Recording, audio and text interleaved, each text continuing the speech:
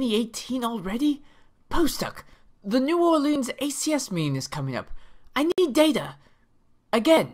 Um, yeah, I got I got a little bit of data uh, to present, but you know, I, I really need some new equipment. New equipment. Hmm.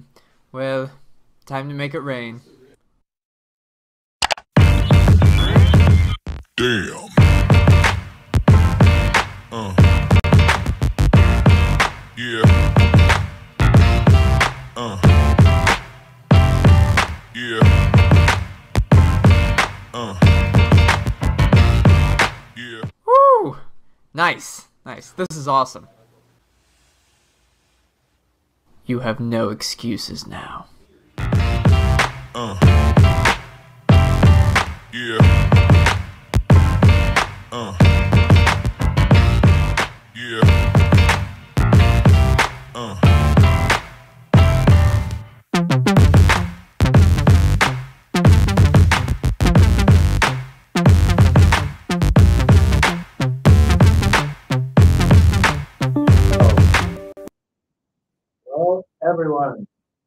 How are you all doing? Hope everybody is doing all right today. Yes. Welcome to another Ask Us Anything About Electrochemistry live stream. I'm Alex Peroff. This is my colleague, Dr. Neil Spinner. I guess I'm also a doctor too, but Yes, yeah, you are. just, just call me Alex. We're doctors, but like, you know, if you're suffering from like a stroke or something, we're mostly useless. Yeah, We're not that kind of doctor. yeah. But if you happen to have an electrochemistry problem That's right. And you're on the floor and it's just like, why is my impedance not working? Like if, if you're, if you're in severe pain, and then the only thing you really want to know is how a battery works, I'm your guy. Yes, yes. So, uh, so welcome everybody to the to the live stream. This is where uh, you have a chance to ask us uh, any questions at all about electrochemistry. We're going to try our best to answer them. Um, we get a lot of questions from either email, YouTube, webinars, um, and just just messages to us directly. And some of these questions are pretty technical, and those formats are not always the best to answer them. So we've created this live stream where you can ask us anything, and it really gives us a chance to go into more detail about some of these electrochemistry questions. So uh, the format is we usually do this for about two hours. Um, that's actually been kind of the running average, actually. And uh, type any questions you want into the chat. Uh, we're using Restream as a platform for uh, broadcasting onto YouTube. We've settled into this now. Yeah. know, For like five, six weeks in a row, we were like, we're just trying stuff. you Yeah. know, We'll see what sticks. And uh, we really like Restream. We really like Restream. Shout out to Restream, great platform. Yes. We've used some other good platforms, but uh, this one, it's, I, we're really lucky. Yeah, yeah, we, re- we really like this, and um, and we we've noticed very little delays between what we say um, and when it actually uh, pops up. I think it's still like maybe 10, Yeah, 20 10, seconds. 15 seconds, something. That's not too bad. So if you uh, so if you hear uh, so if you type something in and we don't immediately respond to it, uh, don't don't be alarmed. And um, again, you can ask us any questions. There are no stupid electrochemistry questions. Please, uh, Echem is very difficult, so feel free to ask any and all questions, and we'll try to get to them as soon as possible. Um, we, uh, if you're unable to, or, or if you watch the live stream later after we've gone live, um, we will have in the description of this video uh, a list of all the questions with timestamps so that you can can ask. We're going to also apologize in advance if we mispronounce anybody's names um, or just whatever number things come up in, uh, uh, you know, just whatever a YouTube username is. Uh, I think one time someone's username was a Pokemon and I just had no idea. Yeah, that was fun to learn. That was fun That to was learn. really fun. Hey, by the way, somebody in the chat let us know that you can hear this. I was just playing with the audio settings and realized it was it might have been like it wasn't on our audio im- input until shortly just now. Yeah. So it's possible that your voice was coming through like my computer. Yes. I don't know if what Alex was just saying was uh, you could all hear, or, uh, or maybe it was sounded far. I think hopefully the microphones we're using now should be the things you're hearing. I hope. Yeah. So yeah. anyway, for the next 20 or 30 seconds, somebody please just sort of say, I can hear both of you. We would appreciate it uh, to know that the things that we try to say to answer your questions will be heard by you and useful. Yes. So sorry yes. to interrupt. Yeah, no, no, no. That's good. I think that that's actually most of the, the kind of boilerplate list of things. Uh, during the during the live stream, just type in the questions into the chat, and we'll try our best to get through them and and explain them. Mhm. All right. So it looks like a We got a couple questions. we have a couple already. questions, which is good. Audio sounds good. It sounded like the mic in the middle was maybe on, but it's now good. Yeah, the we do have this as uh we've had guests or um for those occasions where we might Yeah. have a, a, a I don't know guest with us. We have the third mic. Hopefully, it won't pick up any auxiliary sound or something. I do think that Ferris, what you were hearing might have been again. I, I stupidly didn't get the audio settings before we started Yeah. to the right thing. Plug this too. So uh, I think anyway, you, can hear both of it. Thank you, B. I appreciate that. Yeah, yeah, So anyway, I just I should have checked with that beforehand, but uh, you know, it's like I've never done this before. So um, okay, Yeah. so um, what did you want to handle the ones that we had in Yeah. chat now? Probably start Yeah, with yeah, We have a couple ones in the from a, a comment I think that you can answer maybe afterwards. But um, yeah, yeah, we can look at this. so afterwards. So this is from um, Himanshu, and Himanshu is asking, "Hi, please explain Tafel, Butler-Volmer, and Nernst equations. Explain the electrochemistry of batteries." Well, that's not too much. Yeah, yeah, it's not, Yeah. nothing much. It's uh, yeah, it's Yeah, no big deal. thing. Uh, why don't uh, do you want to? I mean, I can talk about obviously the battery thing. Do you want to? I can talk. I can talk about it. Do you want to? Do you want to Yeah. like split this up so that it's not just me talking? for an yeah, yeah, we can we can do that. Um, I'm fairly, I'm I'm very comfortable with the Nernst equation. Um, Why don't you do the Nernst equation? I'll do Butler, Volmer, and Tafel. Yeah, yeah. I've done those with my with webinar stuff. I, I can get some materials if need be. Yes. Yeah. I, it's like I understand the Butler Volmer equation, but of course I've got. I think we all have beef with some parts of these. Well, Tafel's. Tafel's my triggering yeah thing. So so you've you've got me uh triggered here talking about Tafel yeah. slope. So wow, yeah, you're good with the you're really good with the Nernst equation. Why, why don't yeah. you talk about Nernst equation is my is like my favorite equation of all. Nah, I shouldn't say that, but um, but what I'm gonna do It's a good one. is I will at least share my screen, and um, let me open this up so that people can see. All right, and just make sure that okay, and then yep, There we go. Un, un yeah, show the those. comment there. Yep. so right now, let me just start off by at least drawing or writing out the Nernst equation. I'm actually going to mostly focus on the, I guess the generic, the more generic form of the Nernst equation. But the Nernst equation, uh, generally speaking, is the um, the electrode potential is equal to the standard potential. And then let me just make sure because sometimes they have like either plus or minus. It looks like they have minus in this form. I'm actually just looking at Wikipedia. So minus uh minus RT and then I think it's NF. And then it's the natural log of basically the reaction quotient. So it depends if you're doing like an oxidation or reduction reaction, but you'll have, let's just say, um, I forgot which one it will be, but the concentration or the activity of, I believe they have it as uh, Yeah, they start with the like the reduced form over the oxidized form. And I think this is when you're doing a. This is for the case when you have something like let's see products of reactants. So Re is in equilibrium with an electron plus uh, uh, whatever o- OX. Ox. Okay, all right. So this is the so now that we got the Nernst equation down on paper, I can at least start talking a little bit about this. So you'll commonly see the Nernst equation, um, even discussed in general chemistry, as as kind of the quintessential electrochemistry equation, and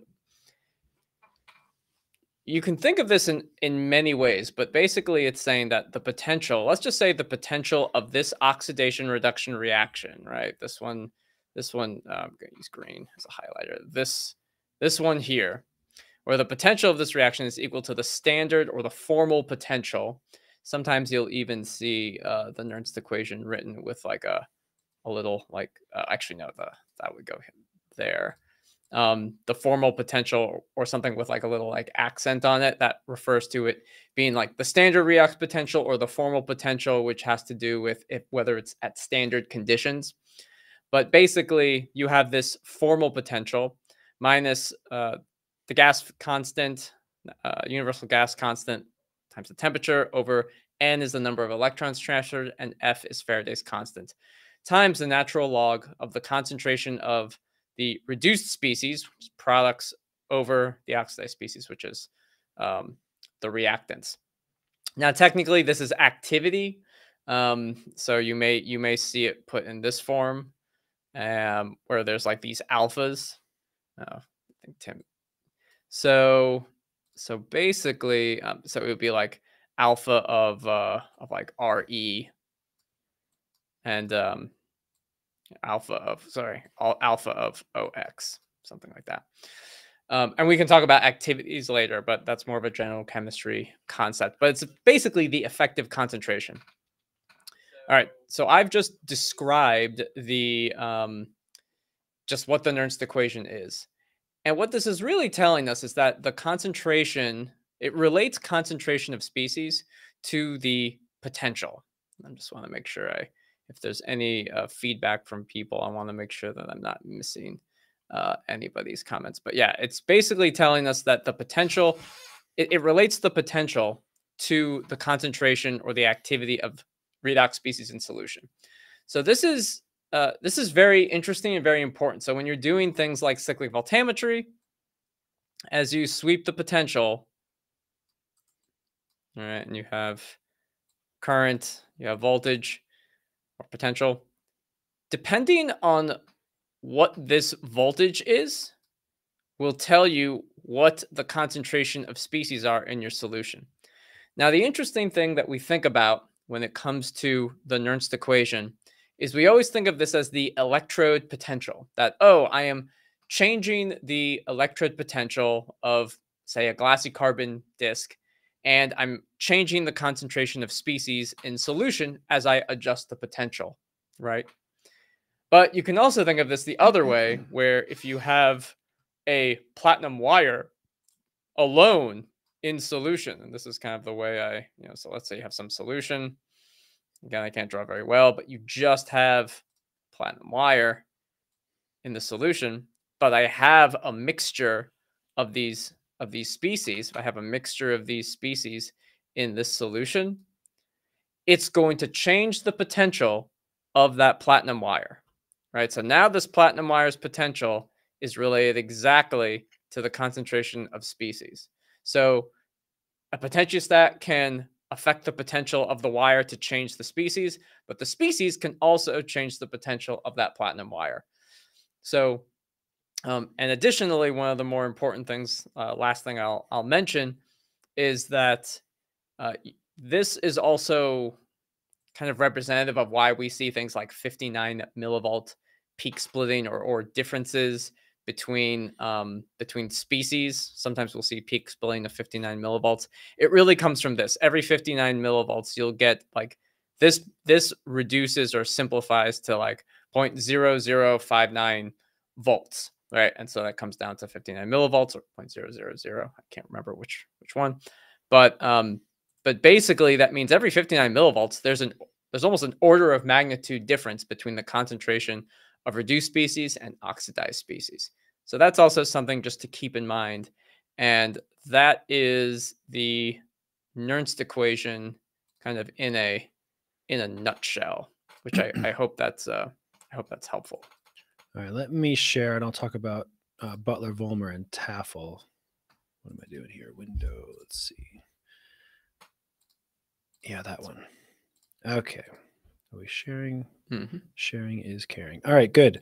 So the Butler Volmer equation is an equation that describes current. Okay, current as a function of a few different things but namely current as a function of potential and specifically over potential. And so you can think about potential if you want in the ways that Alex just talked about it with the Nernst equation, but the Butler-Volmer equation, but I should do that every time I do this. Butler, I should use the uh, text box and I don't. Butler-Volmer equation. So the current I is equal to I zero. This is called the exchange current density. Um, or the exchange current, really. It doesn't necessarily have to be density. Um, and this is like an intrinsic quantity that is related to the specific electrode and the reaction in the system you're studying. Okay. And then there's this expression here. And so we have an exponential. What is it? E to the, I'm going to make sure I, it's alpha NF over RT. Yeah. Okay. So we have E to the alpha NF over RT times the over potential. That's eta, the Greek letter eta. And then it's minus the same thing. What is it? Minus uh, alpha minus one, right? That's where that's where the that's the Yeah, I- difference. Yeah. Alpha minus one. I'll talk about what each of these means in just a second, but I just want to write it. Make sure I get the uh, the the uh, Butler-Volmer equation, like Alex just basically did with the Nernst equation, is one of those that the the the form of it can take some slightly different Yeah. um, forms depending on where you see it and, and stuff like that. This might be a minus. The minus might be over here. This might the alpha depends on how you define alpha. That's a big thing in the uh, world of electrochemists, what they want to call alpha and whether it's whatever it means. Anyway, I'm going to use this form for my description today. So this is the exchange current density I zero.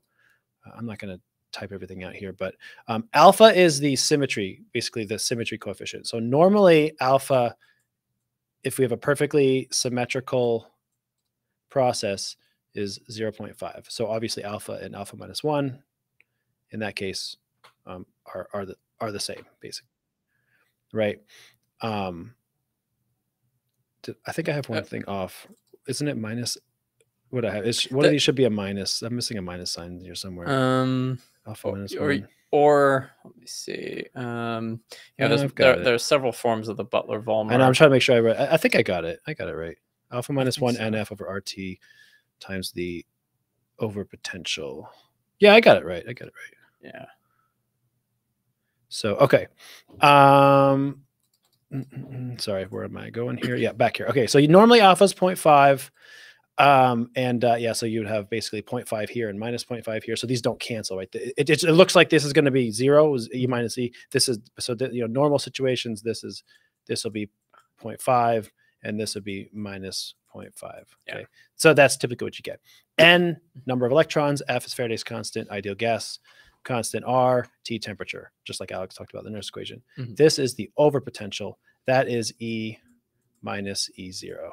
How far are you from that potential Alex talked about with the Nernst? That standard conditions, whatever. How far away from you? Are you really high, higher than it? You're doing an oxidation. Are you lower than it? You're doing a reduction. Okay, that's that's just the distance. That's what that's what the over potential is, right? All right. Now I'm gonna uh, I'm gonna use. I actually have an Excel sheet here. I'll share to show you what it Mhm. looks like with the Butler-Volmer uh, Butler-Volmer equation. And also, I know that there's some follow-up questions to like the Nernst equation. We'll we'll get to that after Yeah. we just we, we Try to get through Butler. each of these briefly. Right. These- Yeah. These, are some of the foundations of electrochemistry. So these Yeah. are- these are good questions. Like Yeah, the Butler-Volmer equation, the Cottrell equation, the Nernst equation. These are like what Yeah. electrochemistry is the stuff it's made out of, right? Mhm. So the Butler-Volmer equation takes this form. It's basically it- it'll be flat around 0 Mhm. over potential. So when you're right at the standard potential, you're not doing anything. If you go really higher than it, and again, convention wise, I'm doing IUPAC UPAC convention. Positive potential is positive current is oxidation right. negative current is negative potential is, is reduction. That's Yeah. um, the correct way to do it. Yeah, That's that's the way I prefer. That's the way, I, frankly, I think most of the world uses it. But if you're Yeah. confused at this, it's probably just it would be flipped if you're thinking the Texas convention or something like that. Yeah. Okay. Um, as you increase the overpotential positively, you induce an oxidation.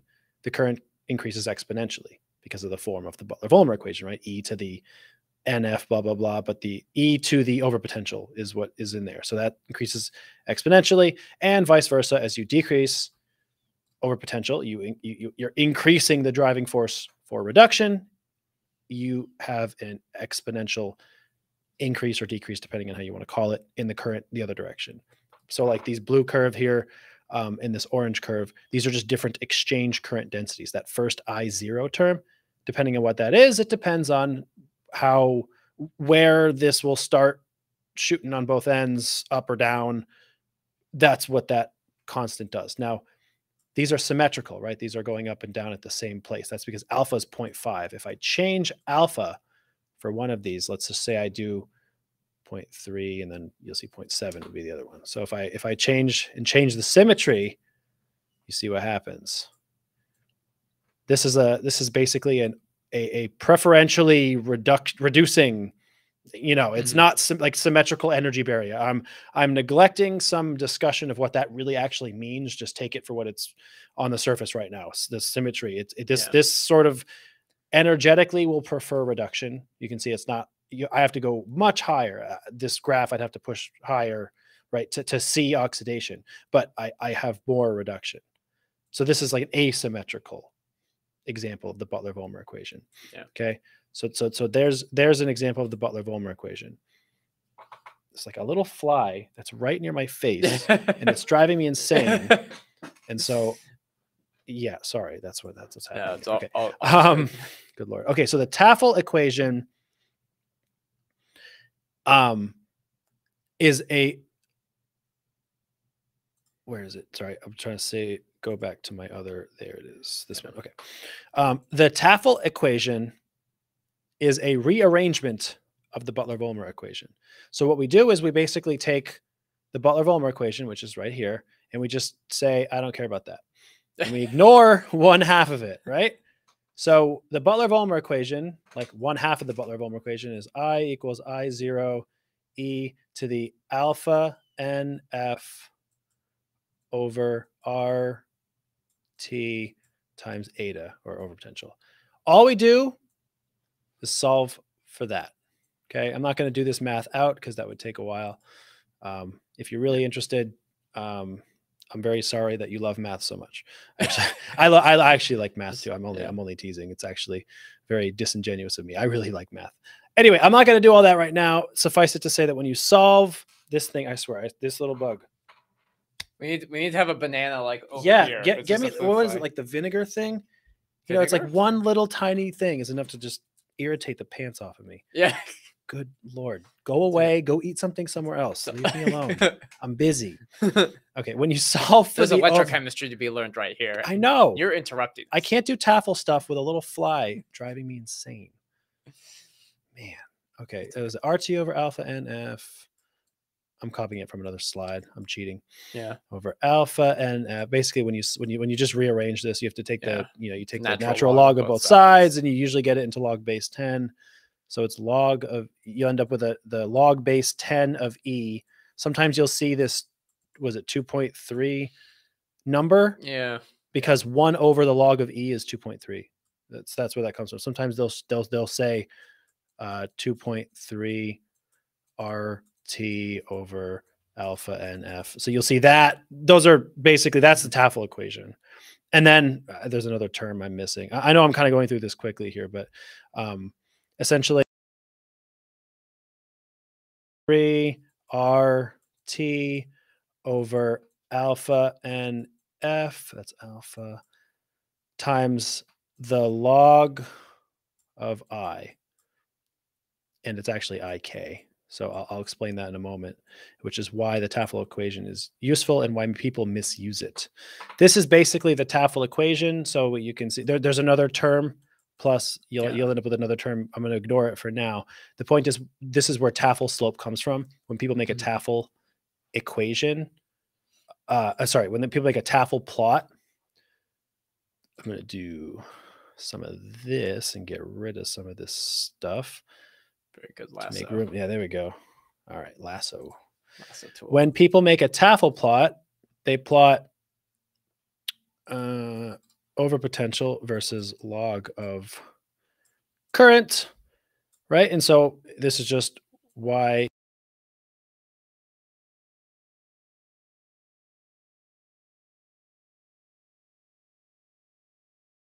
right?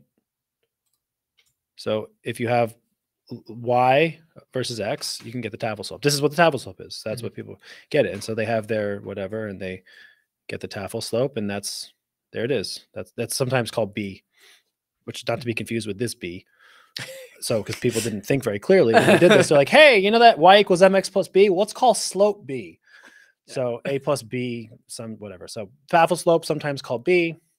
Uh, it's 2.3 RT over alpha and F. And so it's a way for you to, um, sometimes people use it to get the N, the number of electrons transferred for like oxygen reduction reaction should be four. Sometimes it's two. So that, that's one of the um, uh, things that people will, you will use this for and gets you kinetic information about the mechanism can also get you an estimate, for example, about the alpha, you know, how symmetrical is Yeah. my, so there's, there's a lot of uh, kinetic information that's buried in there. Here's my uh, triggering thing that I'm going to be very uh, clear about here with Tafel. People very frequently make Tafel slopes, Tafel plots incorrectly and improperly. There's the one thing here that I'm missing and I didn't draw on purpose. This is K, I, K. You can't just take a CV or an LSV and then do a Tafel transform. Well, you can, but you, but, but you shouldn't because that's not Tafel information. What's buried in the Tafel information is that it came from the Butler-Volmer equation. I rearranged the Butler-Volmer equation in terms of overpotential. This is not I.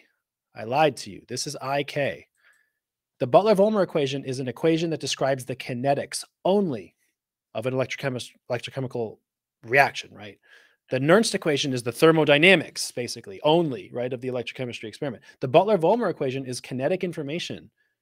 There is no electrochemical system that is only kinetics. There's thermodynamics, and there's diffusion, and there's other stuff. Mhm. So when you do a cyclic voltammogram or a linear sweep voltammogram or LSV, anything, that current that you get from your potentiostat is not kinetic current. It's just current, right? So you're making a very big and often incorrect assumption that I can make a Tafel plot from my I and E data. That's not kinetic current. So you should you should think carefully about that. If there's a way to isolate the kinetic current from the current, Yeah. under some conditions like rotating electrodes is a way to do that but that's why the Tafel plot is often misused because it shouldn't you you you you must have pure kinetic information for that slope to mean anything Mhm. you know you might get an express you might get a relationship between overpotential and log of current but it's not Tafel if it's not kinetic yeah and then you just have some strange plot that might be interesting but it doesn't give you Tafel information Yeah. so I, that drives me insane Yeah, so that's yeah. the thing Yeah, because there's also like you know, there's Faraday, there's non-Faraday current. There's just current that can come from all kinds. yeah of things. exactly and it's all in, contained into that eye right Yeah, it's, all, one contained in that eye. yeah so, but okay I, that's, that's i'm gonna good. step down from my Well- soapbox and we'll continue here Yeah, uh, I want to. For some reason, I think like when I adjusted Restream's like size, I lost some of the chat. But I wanted to. oh i have it here I wanted to just, um, if you could share, Ferris just had a quick like elaboration. He wanted to ask Mm. about the elaboration of the um, i'll show it here natural log. Yeah. So when I was talking about the Nernst equation, Mhm. um, so this is a very interesting question. I don't know if there's actually a uh, a good answer to it, but like there's typically always some kind of like redox reaction or charge or some species like some people will take say if you take a platinum wire in solution and there's no oxidation or reduction reactants or something like that does does the does the platinum itself have no e naught or does it have no potential? And the answer is no it has has some potential has something. But um but it may be based on other things. So there's electrolyte you know you're in a solvent right? So your solvent itself also has um you know there's just like even the hydrogen um uh the hydrogen evolution reaction just like h2 or uh, 2h plus to uh, hydrogen gas right? Like that's a reaction that's in solvent that's in some solution that's also part of it. But what people can do is they can actually control the potential of a of a metal electrode or something like that by adding um, a, redox species to it, and they can adjust the concentration of the oxidized and reduced forms so that you can you can determine like all right what's the the E naught or the Fermi level.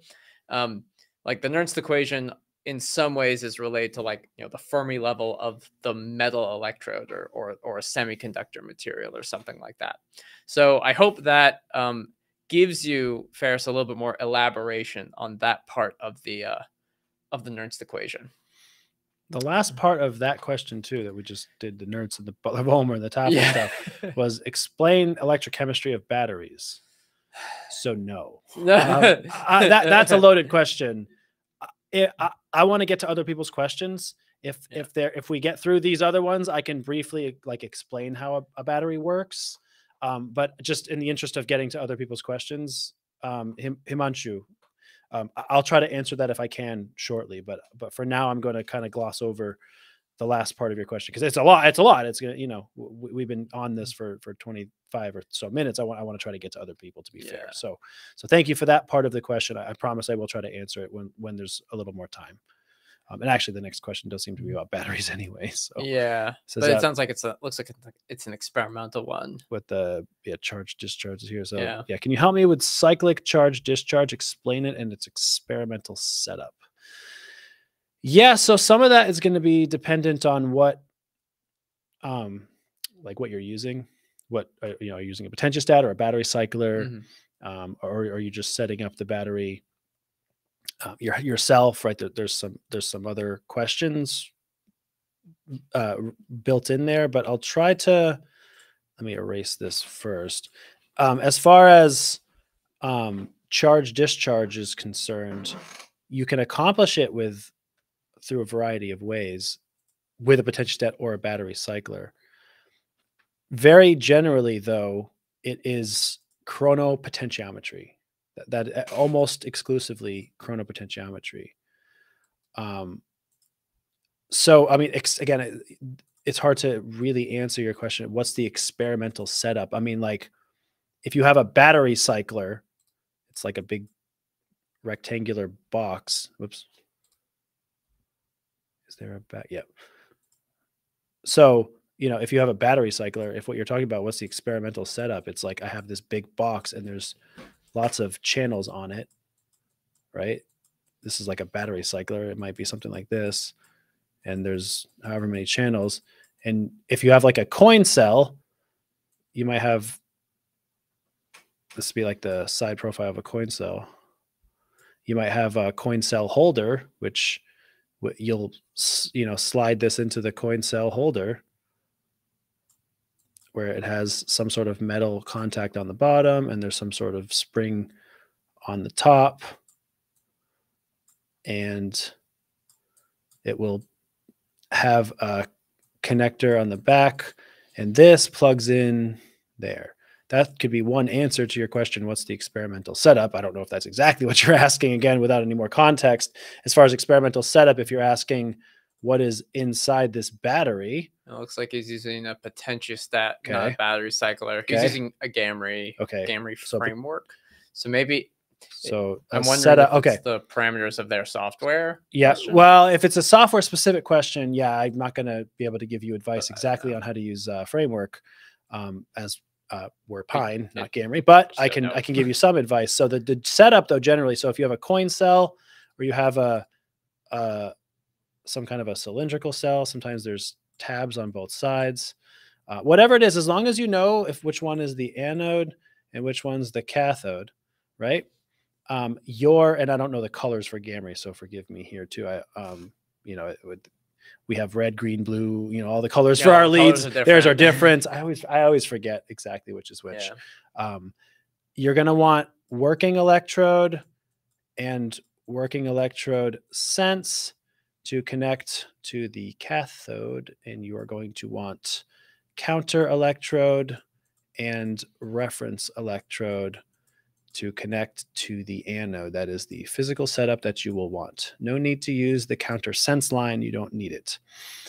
Um, that is the setup. So you you you uh, Gamry's, uh, as far as I can remember, anyway, their their cell cables don't stack nicely like Pine Researchers do um, so as you know there's sometimes there's there's these banana cables right um where it has it's a it's a banana plug and then in the back there's a there's a recess so you can plug another one into the back of it, and so you have you have basically two stacked together, right? So this would be working, and this would be working sense, or this would be you know counter, and this would be reference, and you can stack them. So for you, you might end up having to do like working with an alligator clip and counter uh, sorry reference and then counter kind of connected like alligator them all together somehow. You'll have to you'll have to do some sort of kludgy thing like that if they don't stack. But that's what you're going to do. And so when you connect if your battery is made properly let's just say when you connect the working electrode to the cathode working sense and the uh, reference and counter to the anode, you should have a positive potential. Positive, it's a voltage really. You should have a positive voltage. So if it's a lithium battery, you might have like plus, you know, 3.5 volts or something like that, whatever. Okay, so that that's the physical um, setup that you should have when you with just an electrode. Oh yeah, sorry. So Yeah. can I do cyclic charge discharge with three electrode system? If yes, and how? Um, And it sounds like it's like just an electrode, not the entire cell. yeah, so, you're this a doing you're doing like half you're doing half cell tests. Um, yes, the tricky thing is you got to know what the um what the potentials are. So normally, what you're doing with a cyclic charge discharge. Let me erase this and get to the that part of it. With it with a charge discharge, what you're normally doing is you have voltage here, you have your lower limit, you have your upper limit, and you're going to add current until you hit the upper limit, or you're going to take away current until you hit the lower limit. Now, this volt, this is volts like between anode and cathode. So if you're using a reference electrode, this is different. So it's fine. You just have to know what those voltages are. And so when someone says, for example, with a lithium ion battery, and I know you, I know you're just looking at one electrode and not the whole cell, but typically we're looking at this is three volts versus lithium lithium plus. So what is that in with relation to silver silver chloride if you're aqueous if it's not aqueous is it silver i don't know oxide Yeah. nitrate like you have to know what these voltages are so th- the reason why i can't answer easily is because the vast majority of the time um your reference electrode is just your uh, there is no reference electrode or if you have one maybe it's just a piece of lithium metal in which case these voltages are accurate and then you should be able to do it whether it behaves very well or not in a cell liquid setup is another thing because mm-hmm. batteries typically need pressure. That's why we use coin cells and and etc but if you're able to do that basically what you're doing is you're just setting current is equal to something x you know milliamps or microamps or whatever. And then you have a, again i don't I, I can't speak to gamry's software exactly so i don't know exactly how you do this but you want to trigger voltage is you know basically something like greater than or equal to whatever or voltage is less than or equal to whatever you're lower. And so you're just applying a current at a set rate until the voltage hits one of these points. And again what that voltage is may depend on what the reference electrode is. Mhm. be careful of that because normally batteries are two electrode systems and so it's more straightforward. With a reference electrode you got to know where the where that voltage is. So so so that could require some calculation but yeah that that's going to be the charge discharge process there's other variations on that there's more complicated ways to do it but that's as sort of briefly as i can i guess give you now Yeah. about uh, how that process works Yeah. Um. Hopefully that was helpful. yeah hopefully that Um, helps Bia, if you have other questions feel free to type them in um, you know in the interest of time and everything i am trying to be a little higher level you know give you a- an overview of some of these things but i can get more detailed as the case may need i suppose if you if you have other questions so So there is um Sajid Shaf- Shafiq Shafiq. Um, I, you may have you may have access to this one. Mm. Um, so uh, Sajid is asking that they're saying that they're working with these working on a carbon paper But everyone, uh, you know, when they're doing cyclic voltammetry, they're getting some very awkward results. Kind of wondering what what's going on, what what went wrong. Uh, while we don't have those results, so I can't actually tell you exactly what's going on, I can at least provide you with a few ideas about where you can run into problems with carbon paper. So carbon paper working electrodes are are big. Like they have a huge surface area. And if you're doing a cyclic voltammetry experiment on this huge surface area, you're you're probably going to have a very big IR drop and you're also going to have you may even run into a lot of issues with uh, capacitance Mhm. because large surface area means you're going to have a very big capacitance on the working electrode and that can cause issues in terms of noise um, not getting very good analytical data ir drop a lot of things like that and, and the carbon paper itself to the point of capacitance carbon paper is porous.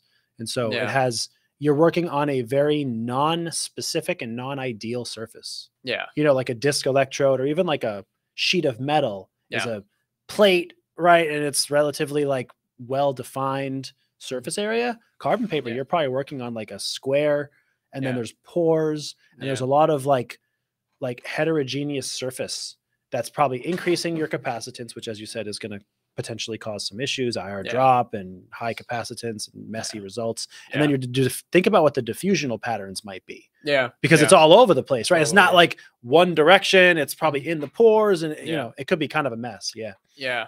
So if you're if you're most people use carbon papers for like a bulk electrolysis, like or fuel cells. yeah, or fuel cells. Just like I'm applying a huge potential, Mm. or uh, I'm just running it galvanistically. I'm just like doing some electrosynthesis, making something, and I don't care what the CV looks like. I'm just trying to convert one thing to another thing. So if you're trying to get good analytical data, you might need to work on smaller electrodes, but the chemistry should be indicative of when you move to larger electrodes. So hopefully um, that gives you some some uh, some sense of something to do.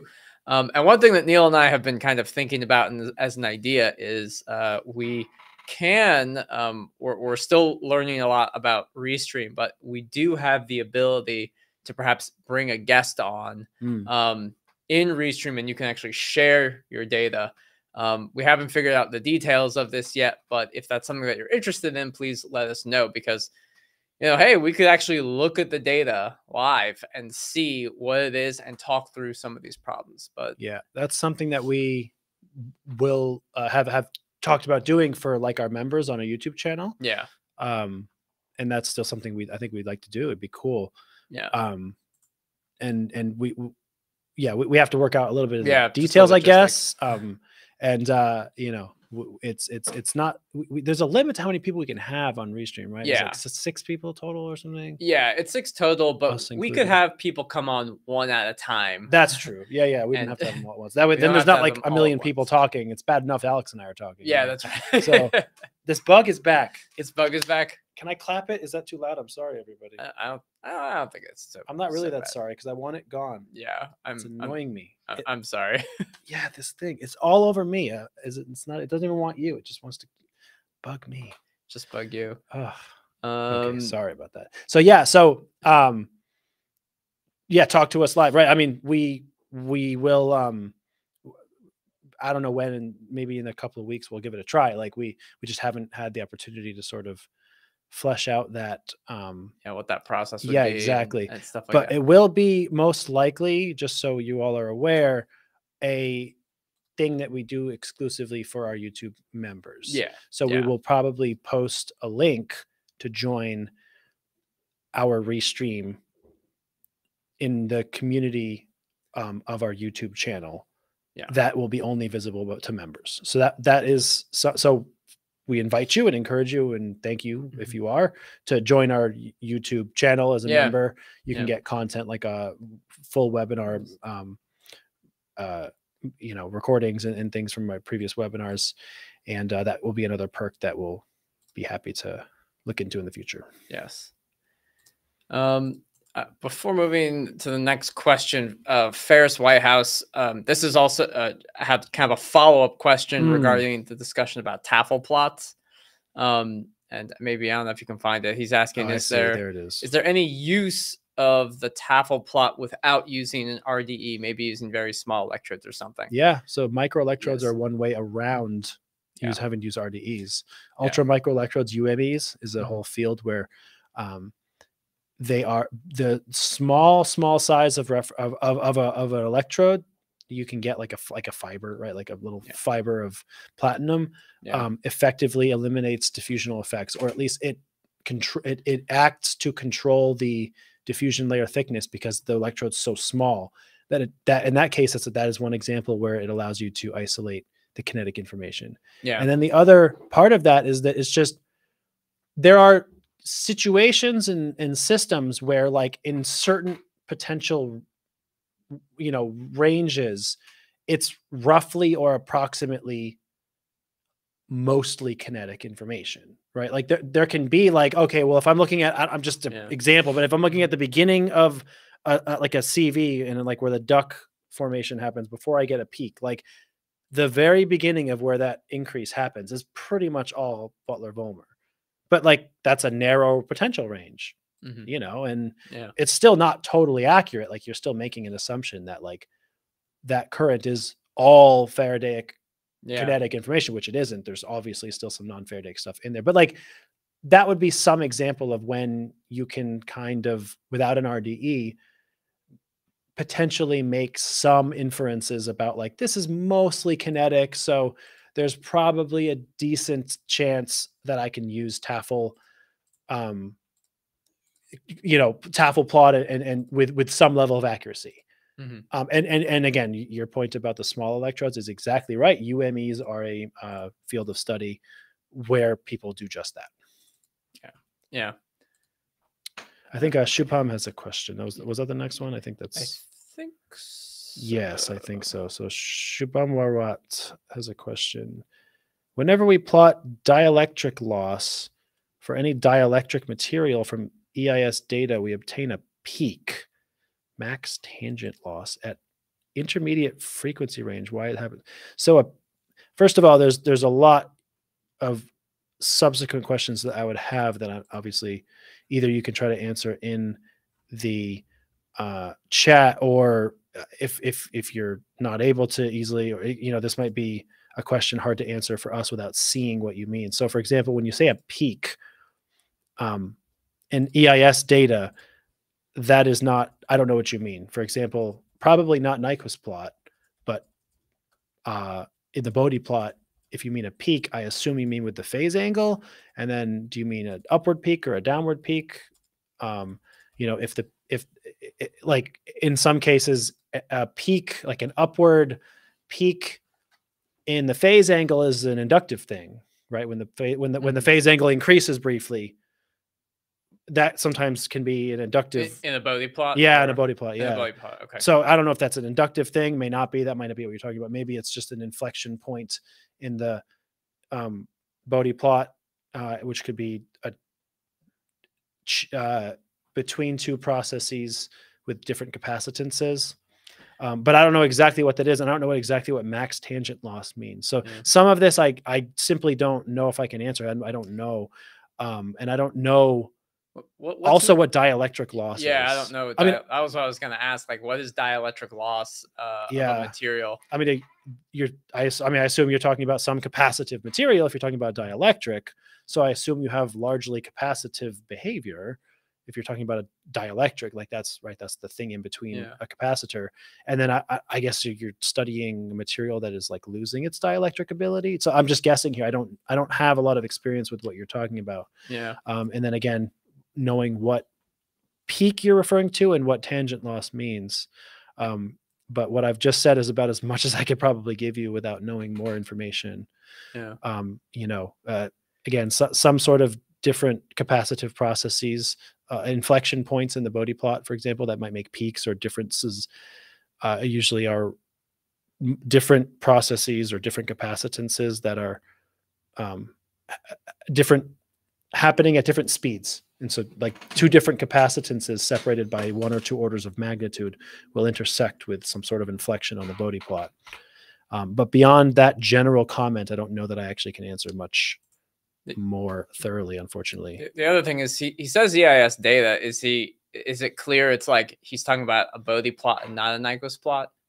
Because you can have like you can quote have a peak, like you can have a peak within of a semicircle, right? Right. Which would just mean a charge transfer process. Yeah, which would be a charge transfer process or something like is because we don't know enough about the the uh, the dielectric loss or the dielectric materials that that um Yeah. Right. Is looking at, and maybe he's trying to figure out like why is there like what does a peak in the semicircle refer to? But I, I don't know. I'm making things up. I don't know if he's looking at Bode or Nyquist. So hopefully he can. I don't know if he. yeah. If you have any clarification, please feel free. Otherwise, I'm at a bit of a stop for what I more I can try to help you. So anyway, I hope that was at least somewhat useful. But uh, but yeah, it's a bit uh, it's a bit light on what we can help further. Um, it looks like George is back. Of course, we remember Yeah. you, George. Oh, George. You don't have a question. Well, then what are you here for?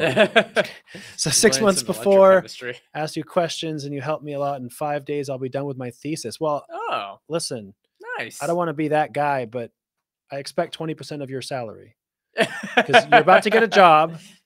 I, I will take a personal check or uh, Venmo is fine. That's Yeah. okay. Yeah. After six months working on this electrochemistry on coatings project, I have one thing to say: impedance is nuts. It absolutely It, is. it nuts. is. It is It's completely, nuts. It's very complicated, and a lot of things happen during measurements. They sure do. Yes. Well, I'm glad we could be helpful. Congratulations, George. Yes, Good for you. Good for you. I hope you have a very long and successful career and you send some of your salary my way. Okay. We have a Rahul Patel uh, asked a question here. Mhm. Um, hi, in four pro in four probe EIS of a membrane, we don't get a Warburg or CPE. Can you please explain the reason?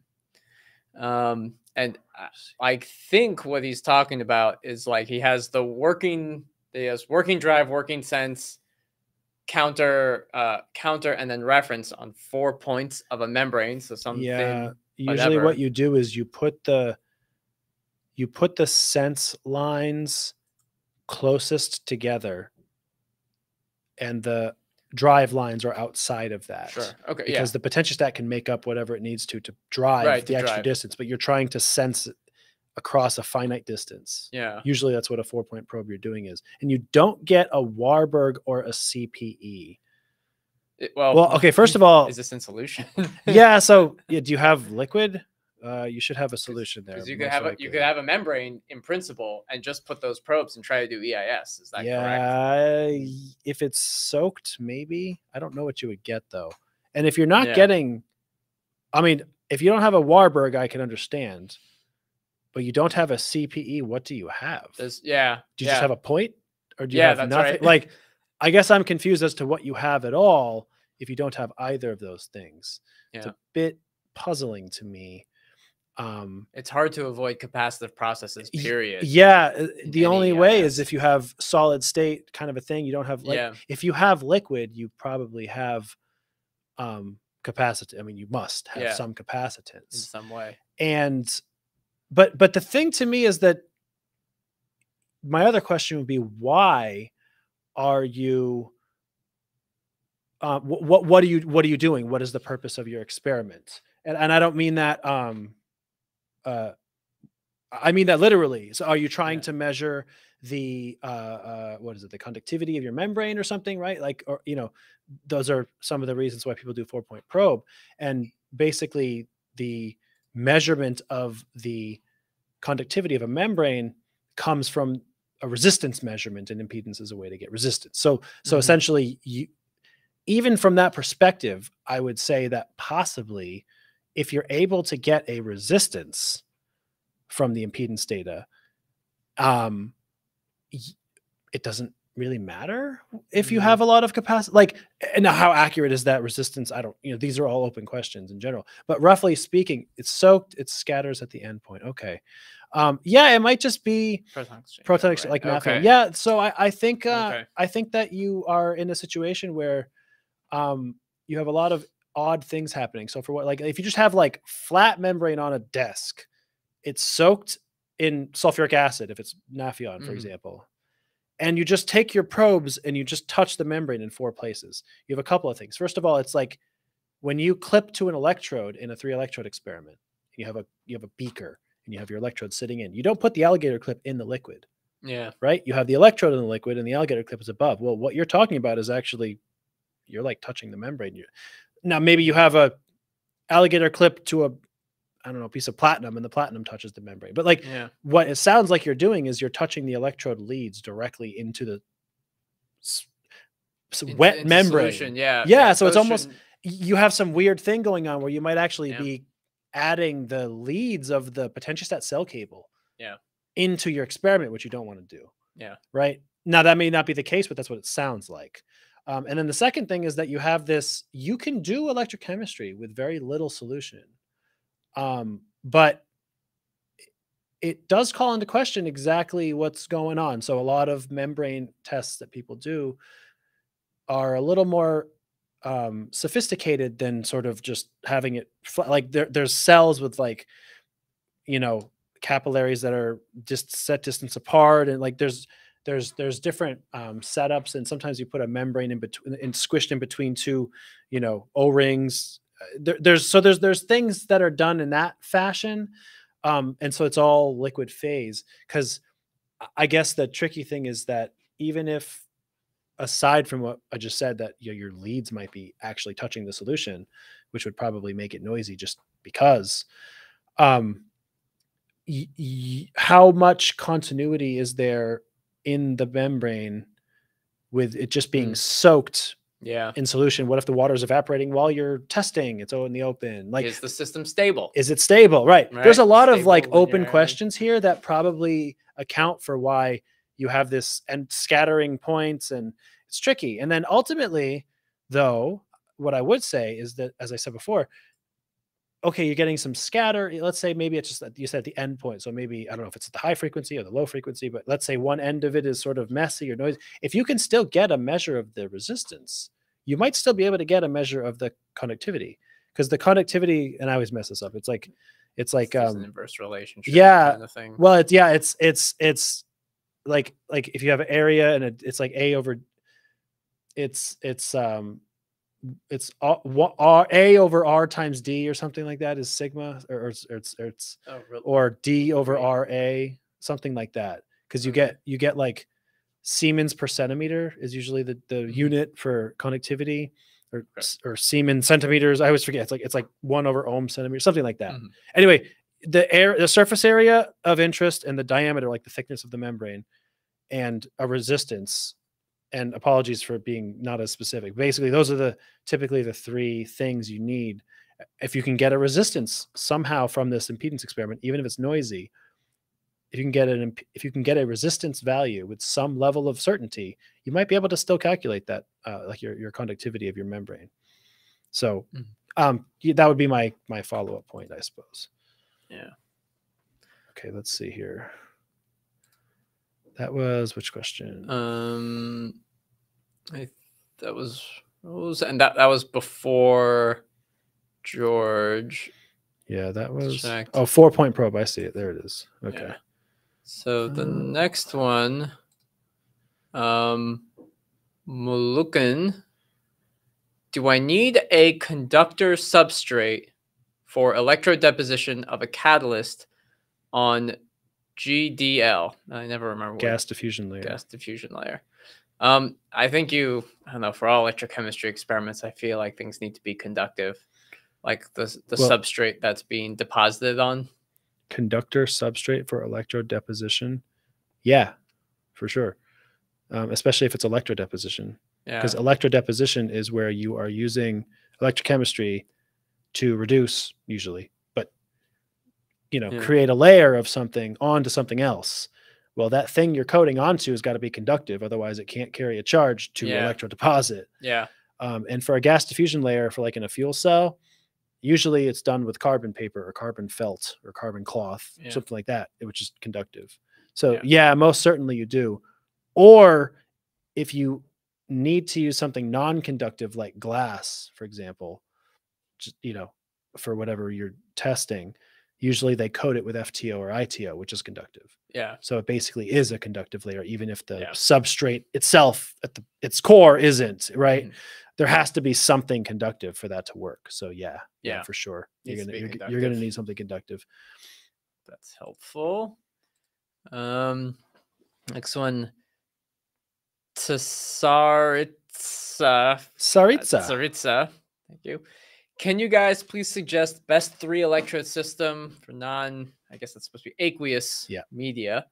Um, well, I I would say uh, I, I've worked with a You have more of- with this than I do. You Yeah, certainly know more. yeah, I mean, we just did some stuff. So, ferrocene is a really good redox molecule that is soluble in acetonitrile, and then there is a um, there's a salt you can use.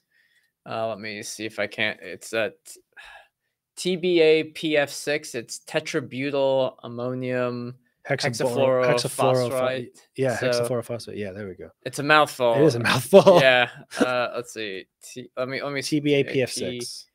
F6 and let me see if I can at least find like just um yeah this is just a link to like Fisher Scientific for the product but this is a good salt that is soluble That's like the supporting electrolyte. as a supporting electrolyte so I'm just oh uh I can't oh wait okay I was wanting to type this into the chat um hold on it's just I'm good I was gonna send. the- I was gonna put a link in the chat, but it's just better to type the name in. Mm. But that's the supporting electrolyte, tetrabutyl ammonium hexafluorophosphate as the supporting electrolyte.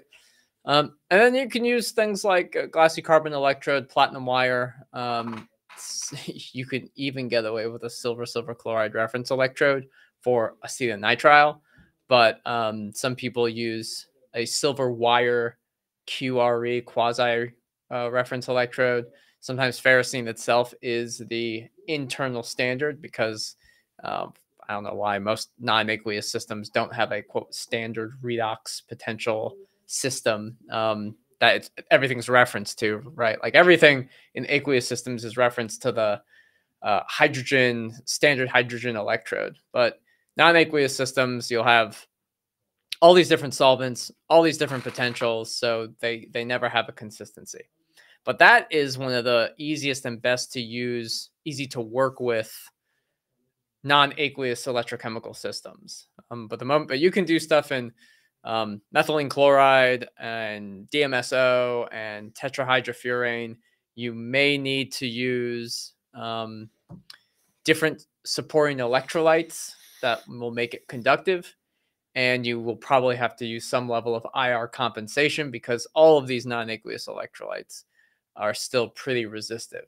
So hopefully that was helpful. Um, if you need further clarification, uh, let me know. And that's just my opinion about the best three electrode system for Yeah. non-aqueous media. Yeah, aceton acetonitrile. Yeah, all these other ones. Some of them are like also just a obligatory word of safety. These are all, a lot of these are pretty Yeah. aggressive, aggressive stuff like THF and DMSO. They're Yeah. kind of uh, they can be kind of nasty. So Yes, they can be safe. Acetonitrile is relatively harmless. Relatively. I mean, I mean, I, I wouldn't say drink it. Yeah, don't but, drink it. But uh, yeah, you shouldn't even drink deuterated water. What yeah, I I've, guess uh, that's is that bad. I've, I mean, I, I I remember speaking to somebody about this. So deuterated water is just like it's water. It's chemically water, but instead of hydrogen, you have deuterium, deuterium. right? And but isn't isn't that used as like a uh like a tracking thing, right? yeah, So it's it's like a it's what we refer to as an isotopolog, and it Oh, can. um Are you familiar with this? No, but I know I, I know something about how yeah you can like if fluorescence or something it will show up right. Is it- Yeah, so um, it can show up in a variety of different types of like techniques. I'm more familiar with it from say spectroscopy. So, for example, if you had um, if you have a molecule and it's got some hydrogens on it, you can usually do some level of water exchange where you have this deuterated water Mm, and instead of having hydrogens for for some of the bonds you have deuterium atoms. And what that does is because it's heavier it's like a harmonic oscillator it mm. now vibrates at, at a different frequency. So that's a way it's like okay do i have this species or another species it's like oh well this peak shifted a little bit just just enough of you know so chemically it's doing all the same stuff I bet it shows up in like IR, um, uh, like uh, Infra- F- FTI, FTIR, yeah FTIR, right? yeah it because shows up in that's FTIR. that's where the that's where the the vibration goes. vibrational energy. So you'll Yeah. see a different um yeah, you'll wave see a number different uh, for- wave number for it. for that. Yeah, that's cool. It's definitely useful for like um uh so isotopologs I I highly encourage everyone who's doing like CO2 reduction you should do at least one experiment to double check use carbon 13 CO2 to make sure you're reducing CO2 to whatever you think you're s- reducing yeah. it to because there's only like I don't know one percent of of carbon 13 in uh, just in carbon generally.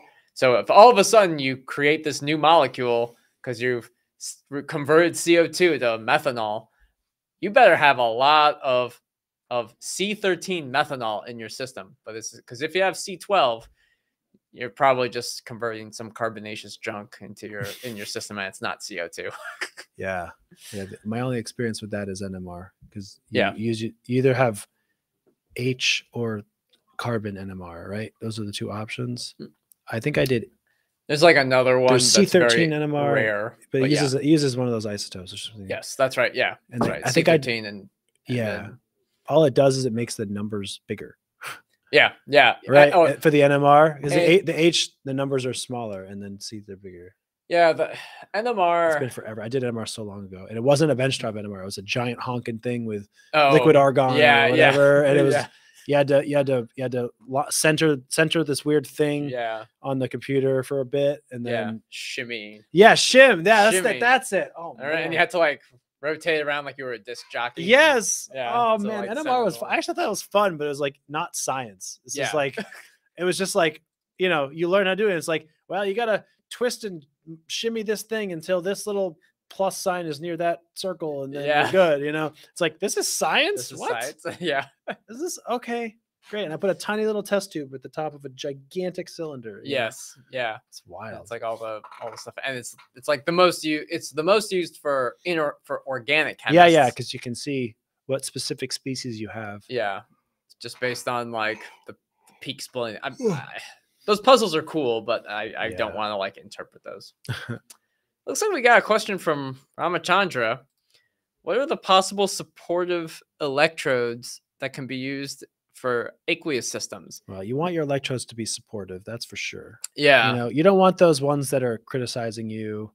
Electrodes that are, you know, they should be supportive. They should be really like in a healthy way. in a healthy, yeah, like a give and take. yeah, it's you a little bit give and take. you know, They're going to be open and honest with you. yeah, they, they can't be if they're hiding things from you. those are not your real. those are not your real friends, right? The electrodes that lie, Electrodes that lie. you know, you got to get rid of them. You got to you got to move on. Yeah. You got to take some time for you. and eh there there's plenty of electrodes out there. You'll find them. Yeah, You'll there's find plenty of supportive electrodes in the sea. It takes a while to find the supportive electrodes. This is the corniest thing. sorry, sorry, Josh. This is, I don't know if this is like. Is I hope I hope this humor is uh, widely explored in the in the world. Like everybody kind of. yeah, supportive. with this yeah, as we're trying to be supportive. We're trying to be nice. Yeah, we're very much just bad bad jokes. Yeah, yeah. yeah. So I think what you mean is supporting electrolyte, No, I, well, I don't or, actually. or or is it supportive electrodes or? sup- I I or think sup- he means electrodes. he I mean, means I le- electrodes. Well, yeah, yeah. I, I- so yeah, if, if you mean electrolyte, I mean it, the answers are ubiquitous. You know, acid base, Or- chlorates yes, or yeah, salts, right? potassium I think it means salts. electrodes. So what are the possible electrodes like that work? Yeah. Okay. For aqueous, I mean that's Cl- also clarify. You know, yeah uh, if if if I mean, you I'm- want uh, uh, salt, different salts, or if you want the electrode materials. electrode materials. Yeah, if it's electrode materials, you mean? I mean, there's supportive electrolytes. Oh, okay. So Oh, okay. Supportive electrolytes. electrolytes. Okay. okay. Yeah, I mean, there's uh, gosh, there's so I mean, there's honestly there's so many options, right? For Yeah. it depends whether you're looking at acid or base. So for acids, Yeah. it's, uh, you know, people the most common one, of course, is um is is sulfuric acid, H2SO4. You know, anywhere from I don't know 0.01 molar to one molar to five Yeah. molar. Dep- depends what you're looking at, and then people use nitric acid and hydrochloric acid, and uh, honestly, th- this is one of these things. It's like electrochemistry requires electrolyte right for an, for a system and that just means there has to be some anion and some cation in solution so like yeah. quite literally almost anything that dissolves in water Yeah. right will work Mhm. and then why you choose one thing over another the the answers are very they're various Yeah. they're all over various. right i mean Yeah. but and as long as there are positively charged things and negatively charged things in the solution that water will dissolve Yeah. it will work Yeah. You know, with some amount of of concentration. Yeah, and um, some people their selection of electrolyte um, in say a neutral thing has to do with well, does the ion negatively interact with your electrode? So Yeah. some people claim like chloride, for example, will um, like chloride could can stick to like a gold electrode or Yeah, or something like platinum that, or platinum. Yeah. And uh, so they don't want an electrolyte that's chloride, so they might use sodium nitrate. And sodium nitrate's a, a good electrolyte in that kind of situation. So those are those are the things. But but Neil's completely right. Like if it dissolves, so you don't want to use, oddly enough, silver chloride. Silver chloride doesn't doesn't really dissolve in Right. in water, but like uh, you know potassium chloride does, and sodium chloride, and, and stuff like that. Yeah. So that uh, that's hope hopefully that's um that is that answers your uh, question about supportive electrolytes, and and uh, the electrolytes should also be supportive as well. You know, yeah, I mean uh, the electrodes and the electrodes, electrolytes, they should be all working in harmony. yeah, You know, Yeah, everybody should be building each other up, saying words of encouragement. and they should you know together you should have a really nice potential window right Yeah. and if if one of them's keeping you down your potential window is going to be is going to be down and you don't want that you're going to want very big as big a potential window as possible You, you really can't set us up with these dad joke kinds of I things. know, you know, I know.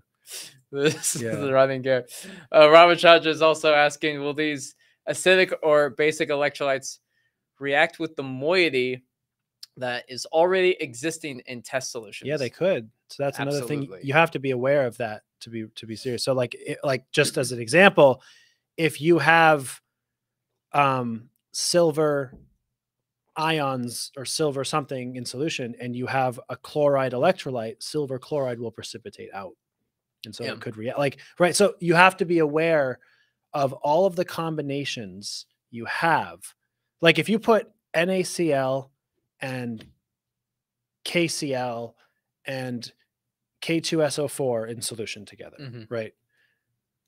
All combinations of those anions and cations are soluble and will not precipitate. Like NaCl, Mhm. NaSO, Na2SO4, KCl, and K2SO4, and if I didn't add any other ones, whatever yeah all of those are dissolvable salts, right? So like all the uh, permutation of plus with minus is not something with a very low KSP, for example, right where it will basically not dissolve such that when those two moieties are present, they will you know suck up together, become a solid and precipitate out, yeah which is something you wouldn't want because it could mess up your electrochemistry, could Yeah. change the concentration, etc. Right. So yes, you have to be aware of that. There are, of course, many um, combinations that are not not very soluble. So it, it, it is something you want to be aware of when you're, you know, choosing. Okay, well, I'm going to choose this acid or this base. Yeah. Um, what else do I have in solution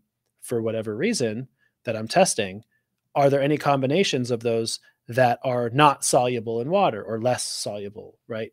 You Yeah. you do want to to be aware of that for sure, um, if you can. Yeah. Um, that that is a that is a good like way to be thinking, I suppose you could say. Yeah. Another thing to uh, to consider is that um, this is mostly for like some inorganic chemists.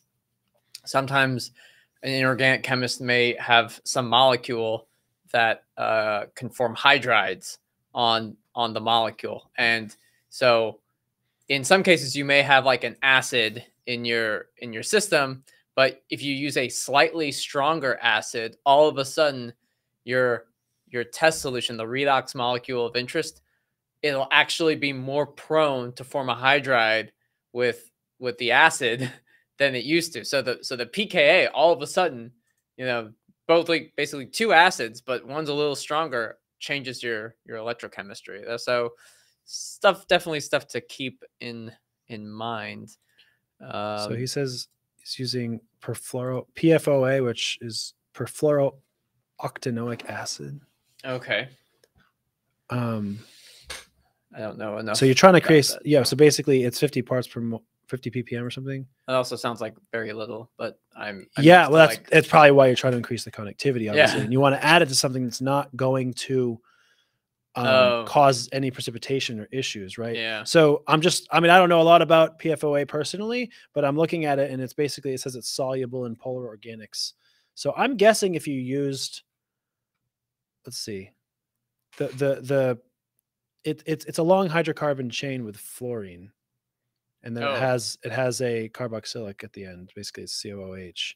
Okay. So that's it's how it's, not it's that mildly, it's probably not very acidic because the CO, the, the last H is going to pop off a little and it probably has, I, I'm, I'm Yeah. trying, I don't know where its pKa is. It But, but Okay, like yeah, it's so- probably soluble in organic solvents just based on you said it's a long polar molecule. polar organic solvents. It is soluble in water though, so I'm so you have parts per million. So I'm assuming you're doing it in water. Yeah. So it's an it's an aqueous system, and uh, um, But that's the that's the thing he's looking at. That's the like Ramachandra's trying to study that's that system. right, right, right, right. Um honestly, you know, depending on what your other electrodes are, I'm just gonna throw out there. Um made out of nano pure water. I might just try some things like I think if you just like can you just try potassium chloride? Well, Like what's or, that gonna do? Well, it depends. Either if you want to do acid, like it's an acid, yeah. um, nano pure water. I mean, you might just add. Well, it's, it depends. Like if you're trying to keep chloride out, right? You might want to use like sulfuric acid or like sodium sulfate or something like that. Yeah. Probably won't do very much to it.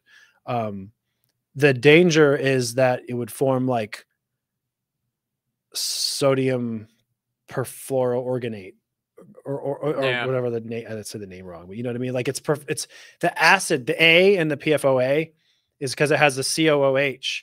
So if the H pops off, hmm if another if sodium PFO or whatever if that's what it's Yeah. called is you know or potassium or something uh, is uh, is is not soluble you don't want to use Na or K or, or something right. I, I don't you- that you might have to look that up I don't Yeah. know offhand um, so in that case I think if you did an acid if you mixed it with something because then the cation ion of an acid is also H plus so it's not going to Yeah. create any it probably wouldn't create any issues. So I would suggest something like H2SO4 or HNO3, sulfuric or nitric acid. Yeah. If you need to increase the conductivity, it's going to be acidic. Obviously, your pH is going to be very, very low.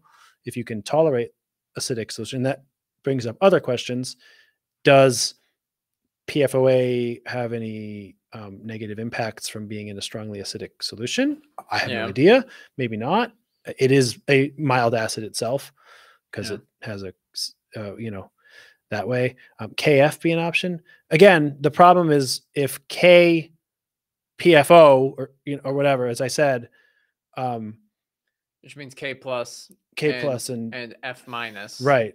If those things, F minus uh, something to a fluorinated. if that well, if if the if the K, yeah, right. If if the, if if if the part other than the H from the carboxylic acid is going to grab onto some cation and form a solid, then you wouldn't want to use, um, you know, an alkaline or alkaline earth metal cation because I, I again I don't know if it would. And then straight HF maybe, but HF scares the crap out of me. straight So, um, if you're using straight HF, you have other concerns like make sure you're using high density polyethylene or something. HF is pretty nasty. It doesn't it doesn't work in Yeah. glass. Um, Yeah. and and maybe and and your I, I, your suggestion, Chris, is probably a good one from the perspective that this has fluorine in it, and you're thinking about those lines. But from what I can tell from the structure of PFOA, is it seems unlikely to me the fluorine is going to do very much. It's it's it's it's basically like a bunch of like it's like methane or eth- ethane. Like it's it's a it's a fully was it fully fully saturated un, whatever Fluorinated. yeah, like it's like s- a carbon with four fluorines around it, or three fluorines, and then another carbon. Like this is a very stable um, molecularly, and so it's not easy to pop a fluorine off, such Yeah. that it isn't likely you're going to get unless you did something to it, or I- guess, and maybe I'm wrong, and that may be the case, but it doesn't. This is a st- it's a stable form of a fluorocarbon that probably isn't going to um, have fluorine readily coming off and doing anything. That'd be my guess. Yeah. So I don't know that it's necessary to sort of add a fluorine, a fluorinated electrolyte from that perspective. I'd be more concerned about the cat ion, possibly again precipitating with the Oh. perfluorooctanoate, Yeah. right? So that that that that's that would be my concern, I guess. Yeah. Um, but you know, this, this Yeah. might take some some trial and error too on your Yeah. part. You might have to sort of add some PFOA stuff or whatever. Um, since PFOA is highly persistent, do you doubt it will react to supporting electrolyte? Not necessarily. I, assuming by highly persistent, it's like a, it's a PFAS and it's one of those forever chemicals. Yeah. I don't know that that means it doesn't support, doesn't react with supporting electrolyte. That'd be an interesting discovery. Well, it, you know, you, when you say it doesn't react with supporting electrolyte, just because it's highly persistent, it's like, and, and I'm and I may be off here, but based on my understanding of this sort of field of study, is you're studying the chemicals that get into water systems that are in very small um, Mm. concentrations, but uh, we have you know concerns because they, they don't go away very easily, and we're trying to figure out ways to mitigate that or get rid Mhm. of them or something, right? And you're talking about if it reacted with supporting electrolyte, well, it wouldn't be a forever chemical because it would probably react. But you're assuming that there's a lot of sulfuric acid concentration in the water supply, which is also probably not true. So, you know, what what you're you're talking about two different things. You're talking about it's a forever chemical, so that means it probably doesn't react with very much because it sticks around. It doesn't like Mm-hmm. you know react with anything that's probably true but like the kinds of chemicals that you're talking about using in the laboratory are not chemicals that also are in the water supply there's not a lot of nitric and sulfuric acid in the water supply Yeah, that's also true. so one thing doesn't necessarily have to do with the other or or even like you know I, I don't know maybe it is the case that it doesn't react with sodium because there is a lot of sodium in the general you know water supply or yeah. whatever salt and stuff. So maybe that's the case. That may be the case. Um, but I do think that there's some trial and error here you're going to have to do to see and and and check some you know dissociation constants and make sure something's not precipitating and, and et cetera right you might Yeah. have to artificially increase the amount of pfoa to make sure it's not precipitating you know stuff like that so it's like if it isn't precipitating at 10,000 parts per million well it's probably not precip- pre- precipitating at 50 part you know what i mean like Mhm. create a higher concentration solution to sort of test proof of concept for some of this Yeah. stuff and, and do stuff like that. Yeah, just just getting a couple like scintillation vials out and just just like popping a couple of these things in and adding different electrolytes and seeing whether or not it goes from clear to cloudy. Yeah, right, right. You're looking for color changes and things Yeah. like that, or, or whatever changes. Chris says photochemical reactions are more likely to degrade it if you remember correctly. Yeah, that may be the case, probably. Yeah. Um, and that's one of those things that uh, you know uh, we're Yeah, trying to find electrochemical solutions to something that we might have like a solar solution, but Yeah. water supplies are not exposed to sunlight, so that's you know yeah. you're checking its conductivity in a three electrode system. Yeah, so. Um, Which is a good system to just- use. yeah, of course, but uh, of course, your problem is that uh, just 50 parts per molar, uh, excuse me, parts per million of something is not much conductivity at all. So yeah, having a Yeah. supporting electrolyte is definitely going to be going to be needed there. Yeah. There was half a question I ignored earlier, Was which was about the electrochemistry of batteries. Oh yeah, that's right. So I think I can try to talk about that quickly here if there if there, there aren't any other Other until the, until until or unless there are other questions that pop up. yeah. I'll try to answer, and I and I'm not sure if you're still around, uh, Himanshu from before. Perhaps you'll watch this later if you didn't stick around. But there was a just a question basically about the electrochemistry of batteries, which is again a very general question. But I'll, I'll try to just maybe I can give a quick overview of how a battery works, and I'll talk about a lithium-ion battery because that's what I know best. But Mhm. um, in a battery again lithium ion you'll have two electrodes you'll have an anode and you'll have a cathode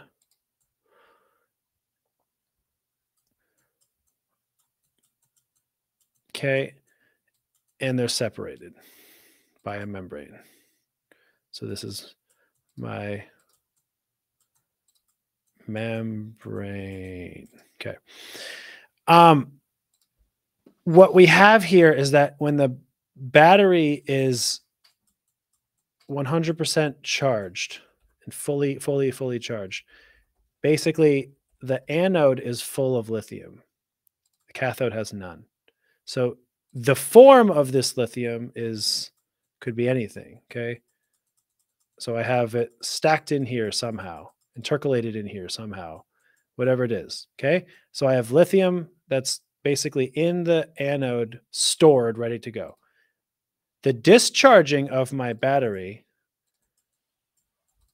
discharging is when I take the lithium from my anode and I pass it to the cathode. And so eventually, over time, I build up the lithium on my cathode and it goes away from the anode. Now, those processes are varying. There's different methods through which lithium is intercalated, stored, reacted on either side. But this is the general process. And then the charging, when I go back the other way, is when I put the lithium back. Okay. I'm skipping like a million different theoretical steps here, but very generally and very briefly, again, just on a very high level kind of an answer for what is the electrochemistry of batteries.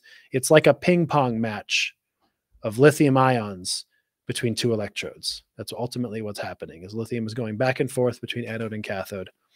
And when it's going from the anode to the cathode, it's discharging. When it's going from the cathode to the anode, it's charging. And I just completely trivialized the entire lithium ion battery in about two minutes. There you go. So that is that and is- that's how a battery works, yes, folks. that is that is very very like basic uh uh butchered electrochemistry of how a, a lithium ion battery works. And so if it's sodium, then it's sodium moving back and forth. If it's another kind of battery, it's a different kind of ion moving back and forth. But that is very briefly how the how it works. Nice. Uh, we just got a new question from uh, Sukanta. And what is the peroxide oxidation potential versus uh, RHE for water? It's a good question. I don't know. It's probably some plus, some over one. Like if you have a it one? platinum electrode, for example, um, probably like 1.2, 1.4, or something. Mm, That that's a that's at least what we use for rotating. Peroxide oxidation potential versus RHE. The peroxide oxidation potential. So it, it there's a lot there's different reactions here. Trying to see. H2O2 Oh, like so oh, because it can it can do it could do a couple. It can do things. different things. Yeah, yeah. Yeah. So like for example, I'm just looking at a some some some pages here with H2O2 going to oxygen with protons and electrons happens at a E naught standard of minus 0.682 volts versus RG. Yeah. So that's just one possibility. Yeah. Uh, standard potentials. Let's see. Uh, I can I can look them up. I mean, these are things you can look up, but again, it depends on what reaction is specifically Yeah. supposed to be happening here. Um, eight. Let's see if I can. Yeah. I'm kind of thinking about if you're doing like a rotating ring disc electrode experiment and you have a platinum Yeah. ring, if you apply a very positive, like over one volt, like one, I, I've, s- I think I've held, had it held at like 1.2, 1.3 versus silver silver chloride. And that's enough to oxidize peroxide Back to hydrogen. back, back to, to, back to uh, oxygen. Back to excuse me. oxygen. Yeah, and, yeah. uh, Plus, uh, plus, plus point, I plus think there's- one. and Yeah. there's water. This is an and and maybe one reason why this is a little complicated is because there's no like it depends on the pH of the system, right? Mhm. Yeah, exactly. If Yeah, the pH, the so- bug is back. Yeah, If the pH is, the pH and the bug is back. it is. If the pH is low, the potential goes higher. So, like in acid, it's Yeah. one. You know. Oh, here it is. Yeah. So this is. Here, I'll share this page. Because yeah, I found. I, am just. I'll put the. uh Maybe the link. In the, Well, it's just the Wikipedia page on standard reduction. I mean, I can share the link for sure, but Mhm. I'll just show it here. Here's uh this one, for example. This is the one that I just read. I had it. I had it. I had it the opposite way, which is negative. So, Mhm. right here you have O2, um, plus two protons plus two electrons. So this is an acid, goes to H2O2. Uh, it's point, about 0.7. And this is assumed to pH 7, I think, because it's like E naught, so it's a standard conditions. So yeah. you go down seven points, it's about 400 millivolts. So that's about 1, 1.2, 1.3. Yeah. So so that yeah. that that tracks, right? If you're in sulfuric acid, mm-hmm. it's going to be 300, 200, uh, whatever yeah. millivolts. pH goes down, standard goes up. So we're at about 1 versus RHE ish, Yeah, you know, and ish. then and if it's versus silver chloride, take away 200, yeah. and then you have a significant overpotential. So Yeah. you're doing one, and you have a high enough driving force. Yeah. So that when peroxide shows up, it's immediately oxidized or Yeah. well reduced, I guess. Yeah. Uh, no, oxidized. oxidized, Yeah, yeah, yeah, yeah, oxidized. Yeah, oxidized. other way. Other yeah, way. Yeah. Um, so you're pushing it towards the uh, oxygen side. So yeah, so so the the the short answer is 0.7 basically versus RHE. Um, the longer answer is like if you're an acid, it's like one ish, right? And then it's what potential you're going to want to be at to make that happen, right? So like Alex said, one, Mhm. 1.2, 1.3. It's usually what you Yeah. bias uh, ring at to make sure you're getting that peroxide detected. Yeah. Yeah. Um let's see. Different research. I'm not sure if this is a question or just a comment. Yeah, I think it's just a comment. different research on cathode anode chemistries govern energy storage and power transfer which make lithium ion batteries the best candidate for future batteries oh well part of it is that lithium is thermody what is it i mean thermodynamically it's it's element number three the the um it- it's i can't think of the right words to say what i it has the highest potential energy of any element for this purpose just by itself um because as you go down the periodic table right you have lithium and then sodium and then cesium. Mhm. i skipped one. Rubidium? Cesium rubidium rubidium cesium francium? Is that right? Oh, on the on the, that's the alkaline metals. alkali. yeah yeah. I, I did it right. I'm a chemist. I should know the periodic table it's lithium Lithium's sodium potassium. but no but potassium is oh, no pota- yeah potassium, Potassium, lith- Then then it's rubidium. Ru- rubidium, cesium, cesium, francium. Yeah. See, I missed what the heck? I missed. I missed the potassium. Cesium's and cesium's actually one of the largest elements because when you get to that that Yeah, area of the periodic table, you have relativistic effects. Right. It's it's huge. it's weird. And, and and in theory, if you put a chunk of pure cesium in water, it would just explode. Yeah. Because Well, if you put a chunk of all these, I know, but like lithium kind of fizzes. I've done it. I've done it a lot actually. It's fun. of. lithium kind of fizzes and, and will spark if it under certain conditions. Sodium is pretty fun. It's pretty aggressive. Mhm. Potassium is really dangerous. You got to be careful. yeah, yeah, it'll go like And then- up. I've never. I've seen a video of rubidium. I think once, and it's like it's huge. Oh wow. like pure rubidium metal. You put it in water, and it's just like it's crazy. It's super fun. Yeah. So anyway, the point of that is, I don't know that actually makes it sound opposite. Um, that's just because of the that's an energy thing. That, that's a It's that's an electron reaction with a water. reaction with water. Yeah. Yeah. Um, the point is that it's it's a it's it's a potential thing. So Yeah. the the potential of lithium. Um, I know I can't I can't ex- I feel like I can't explain this or I I could when I was in graduate school when I was studying them I knew the the right terminology to say what I'm trying to say better than what I'm saying now. It's but- like the redox reaction associated with lithium has a higher potential. Yeah. And that's the thing that governs the voltage of a battery. right, which is what governs basically the power, Yeah. not necessarily energy storage because that is how much current and how much whatever that yeah. is more related to what you said about the research on the anode and the cathode chemistries. So that gets us to John Goodenough, who just passed away, rest in peace, Yeah. professor at the University of Texas. He was one of the most important people. He won a Nobel Prize last year or something. Yeah. Uh, he think so. basically discovered the cathode materials for lithium ion batteries. And so that kind of research on cathode, in, in his case, cathode um, chemistries, revolutionized lithium ion batteries because it provided a way outside of using pure lithium metal, which in theory should work the best, but it suffers from a lot of problems, dendrites, and a, a- lot of other things. You know, in theory, you should just be able to use lithium metal; it would work great, and it, it does in theory, but in practice, it doesn't.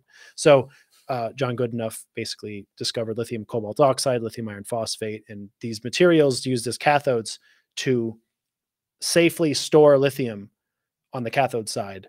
And then it was a, it's a Japanese uh, researcher, it's Yoshida or something. I, I forget, I don't remember exactly. He was one who discovered graphite works better than pure lithium metal for the anode. So the modern lithium ion battery that we use has no pure lithium in it. Mhm. um, because the earliest batteries they used pure lithium metal and they um, were not safe.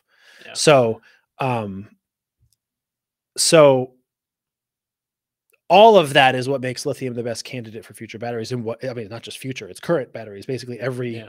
every electric, I I think I'm not 100 percent sure, but uh, most or all electric cars, phones, you know, laptop batteries, Mhm.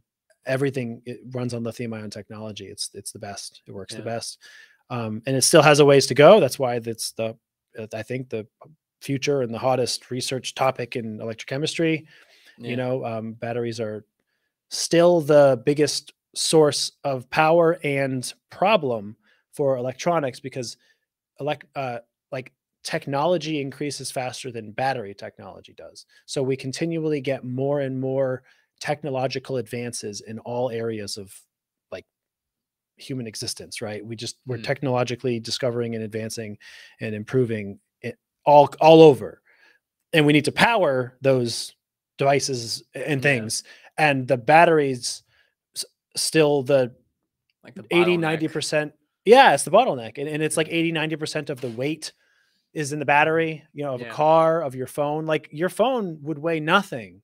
You know how much a, a, a like a, pcb chip weighs? Oh, it weighs nothing. All of your if your phone hits you in the head and it hurts it's because of the battery. It's only the battery. The battery's the thing that weighs all of the weight right? Yeah. and and with your phone it's not that big a deal other than if you're well if you have no upper body strength i guess. But um but with a car right the, it's like we if a car weighs less it it's more efficient Yeah. right? So yeah, yeah. if we can decrease you know all of that is is battery technology in a nutshell right we're trying to get more power for less mass and less weight and you know less volume and, and space and everything so Yeah. so all of that is what makes lithium ion batteries a great candidate because lithium isn't of in and of itself pretty low weight you have to use a lot of it and you have to use different forms of these other materials but it has a lot of potential uh, energy because of lithium's you know uh, oxidation reduction potential you know three to four Yeah. volts is a lot of power and the materials that we've gotten to to to make these batteries are much are very very safe compared to the very early Yeah. you know ones they they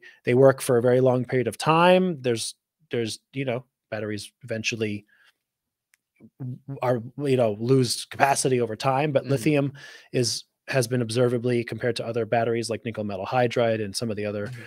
alkaline especially primary batteries you know lithium is rechargeable and relatively reliably so for a very long time They have no memory effect they don't degrade over time very quickly compared to other batteries they they have a ton of properties like this um, and it's it's you know they're the right answer we're just we're getting there right Yeah. yeah, yeah. collectively as scientists battery research is really really important and keeps growing and uh, you know that that's uh that's that's about uh that's the overview there i suppose Yeah.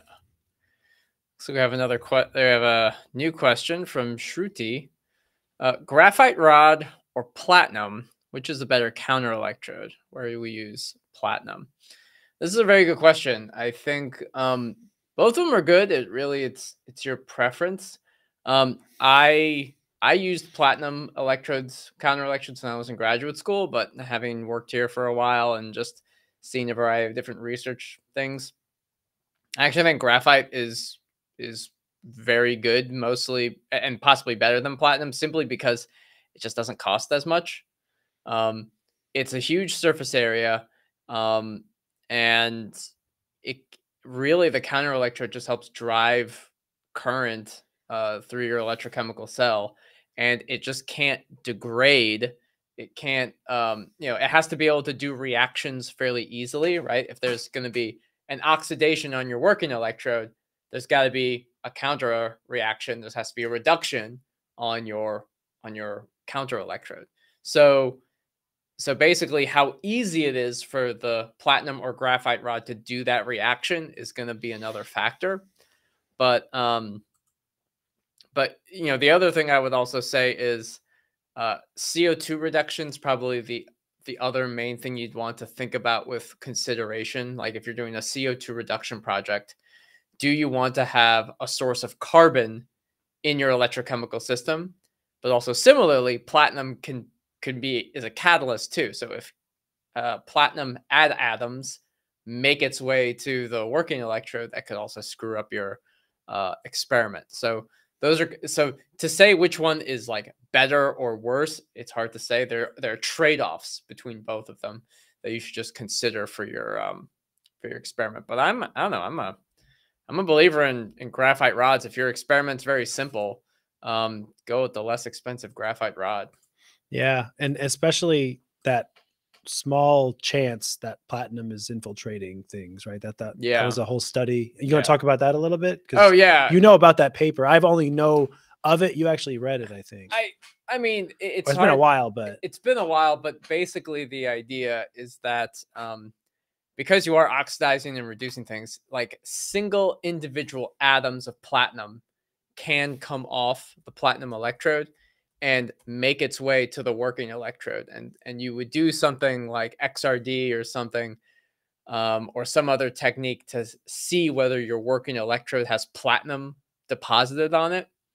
Um, what some people do to uh, overcome this problem is they will um, they'll actually create like an isolation tube between or some kind of separation between the platinum uh, counter electrode and the working electrode and it just makes it harder for those platinum atoms to diffuse over. But like i know like the american chemical society a lot of their catalysis or energy articles the editors are going to be very um, they're going to scrutinize your paper if you use a platinum electrode and you don't talk about what you did to possibly remove any platinum contamination or how did you check for platinum contamination.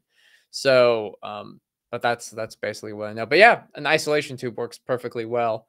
Um, another thing about platinum like it's interesting. You can also think about the mechanical parts of the of the electrode. Like platinum's a platinum's usually sol- sold as a wire.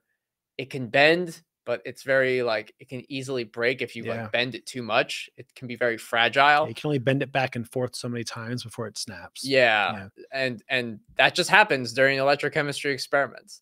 Um but graphite rods can like snap you know um that's another thing uh, but they're also like they're cheaper and they're and you know they're bigger like rods sort of say so uh i just be careful with with those things but that's that's my I don't know my take on Yeah. the difference between the two. This is like the battle between cyclic voltammetry and pulse techniques. CV had won. Yeah, yeah, CV's the winner of the battle royale of what technique should be used for, you know, for for an anal- like DC Yeah. analysis or whatever. yeah, And uh platinum has won the battle between for counter electrodes, but graphite should be appreciated.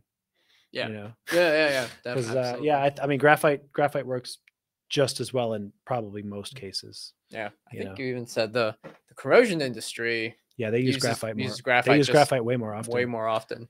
Yeah. So I mean, gra- and again, it's it's it's like honestly, why not? Like it's cheaper. You Yeah. know? Yeah, big And it- surface area. If you're dealing with Yeah. stuff with like, like a wire has so much surface area, but a full rod that's kind of porous that has a much bigger surface yeah, it's area. bigger surface area, and it's like, see, I, th- I think the danger people don't like is that it, you know, graphite carbon can be over oxidized. So if you're doing a really strongly reducing something on your working electrode, it means that you will have some relatively strongly oxidizing something on your graphite. Yeah. And I can understand how people eh, that if if that wrecked it or something, you know, like, Yeah. okay, fi- fine, fair enough, right? Yeah. Um, but yeah, for a lot of cases, I think graphite's probably perfectly acceptable. Yeah. Chris says at the other end of the battery spectrum, Edison batteries are having a revival in stationary applications. I think Edison batteries are like a version of um, like the lead acid batteries um, that use in cars. So most uh, most cars, the, Yeah. the battery in a car. I'm not talking about like a Tesla, like or, a, or an electric car. I mean like just regular old, you know, regular. An old gas. Right, one, one of those ancient gasoline Yeah. cars that everybody used to drive that we all actually still drive um the the battery inside of that is a lead acid battery um and chris uh, correct me if i'm wrong the edison battery is kind of like a version of that that's just like it's not as dangerous because it's nickel and iron and uh nickel isn't it's alkaline because it's nickel hydroxide and nickel oxyhydroxide and base is not a picnic but the lead acid right no lead acid it's iron right I'm, Okay. I'm talking about the Edison battery is lead acid.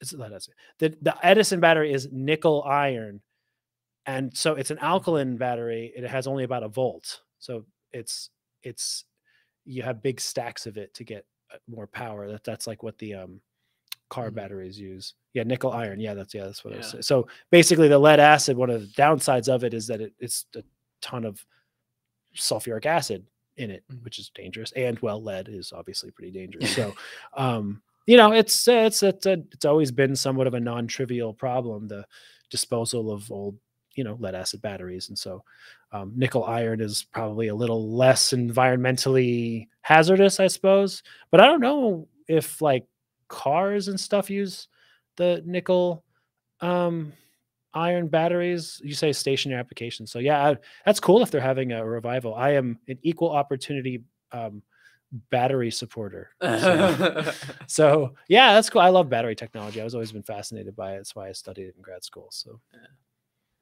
now Barry's got a question. Yeah. Welcome back, Barry. Good to good to see you.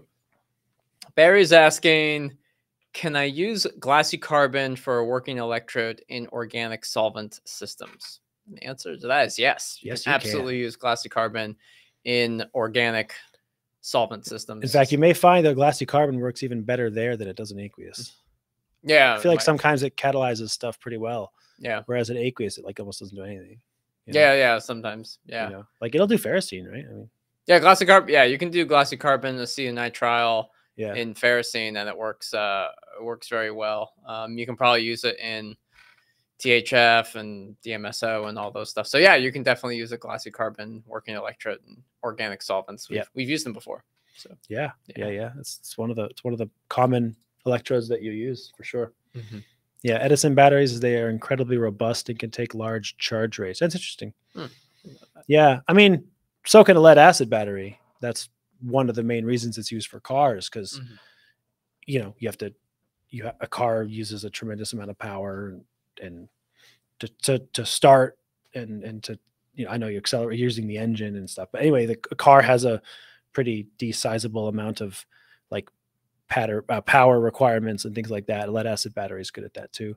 Mm. It's interesting. Yeah, I, I actually don't know a ton about the um, like comparisons between nickel iron and lead acid batteries.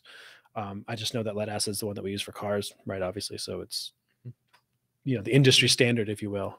But yeah. Yeah, it's kind of cool. Let's see. There's a there's a question from uh, Muhammad. He says, "Why EIS graph of copper nanoparticles is straight line rather than semicircle?" Probably because you're not at a potential at which something is happening. So you're probably doing EIS at open circuit potential, and you're just measuring capacitance and or diffusion.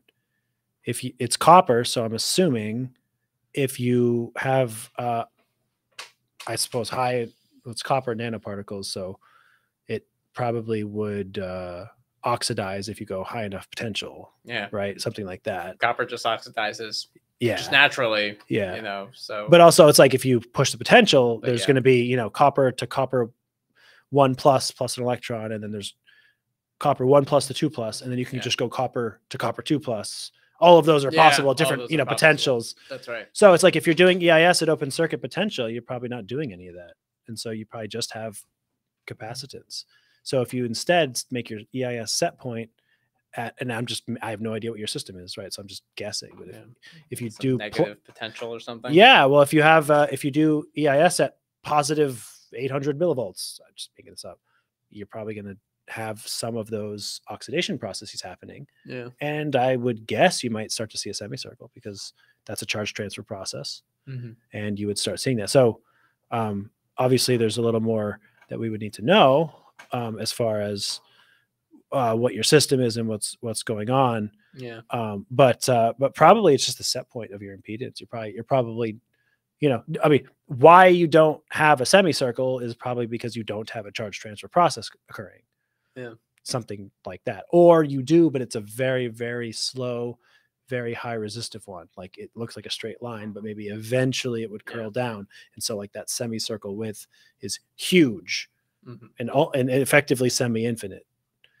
Um, so those are all possibilities that might be going on. Interesting. I feel like we'd also have to need to know a little bit more also about the, the complete system. Yeah, like for sure. just copper nanoparticles by themselves. I'm like, on what? Yeah, right. It, there's a lot of other questions about what the system is, but but uh, yeah, hopefully that is some answer as to why some of the possibilities as to why you might be seeing what you're seeing. yeah, yeah. But, uh, Um, yeah. so we have all the questions from the chat. There, um, there was a question. oh yeah, I do want to answer the one from the yeah. comment. There was a question we got on one, uh, a comment from our YouTube channel. Uh, this person just went by user PD8 SQ6QZ3R.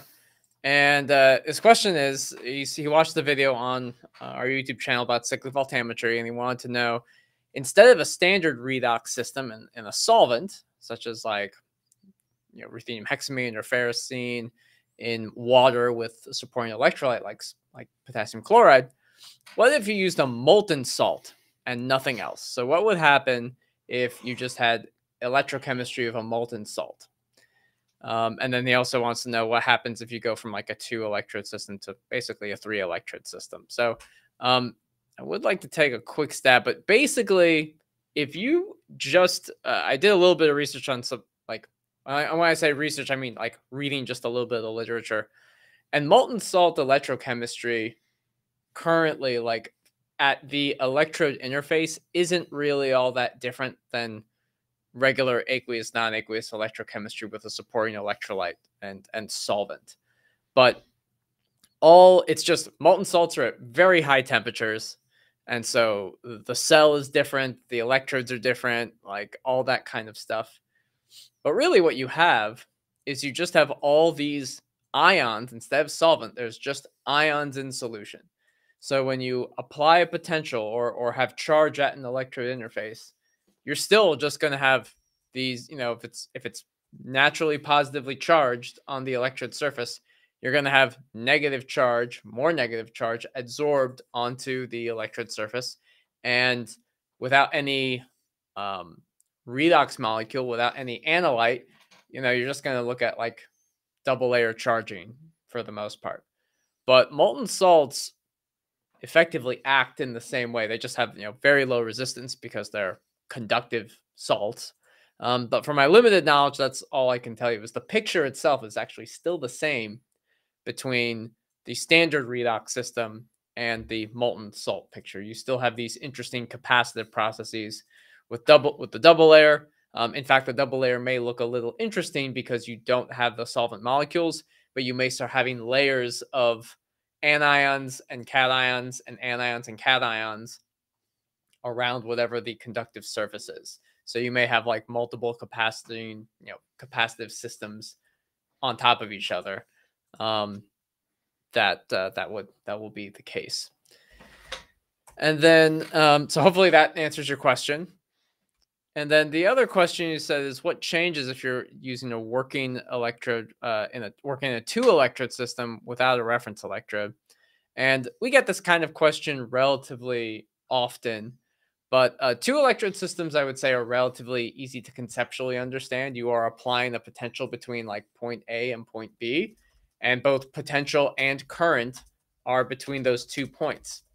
The reference electrode is actually, in a way, what makes things confusing because the reference electrode is designed as this stable reference point, and it allows us to understand what's happening at just the working electrode surface from a point where we know nothing is happening or we know that that potential is stable. So, uh, I let's see. I'm gonna just share my screen very quickly to kind of uh, somewhat illustrate this. Uh, like the last time I spoke was on Nernst equation stuff. Yeah. That's the last Going time back to you- the the beginning of the Uh, live stream. I'm gonna I'm gonna uh, hide that. There we go. Yeah. Sorry. That Yeah. that was the thing. but basically you know you have your in your three electrode system you have you know something like this you know where it's like uh you know counter it's called ce reference re and then working is we and more often than not three electrode system this is like uh you know you're measuring a voltage between these two. So this is like a voltmeter. It's like a little dial, little little dial. It moves back and forth. Little tiny dial. little tiny dial. And then this is like power. So this is like uh so actually this may look a oops, uh this will look a little bit more like gets rid of my thickness.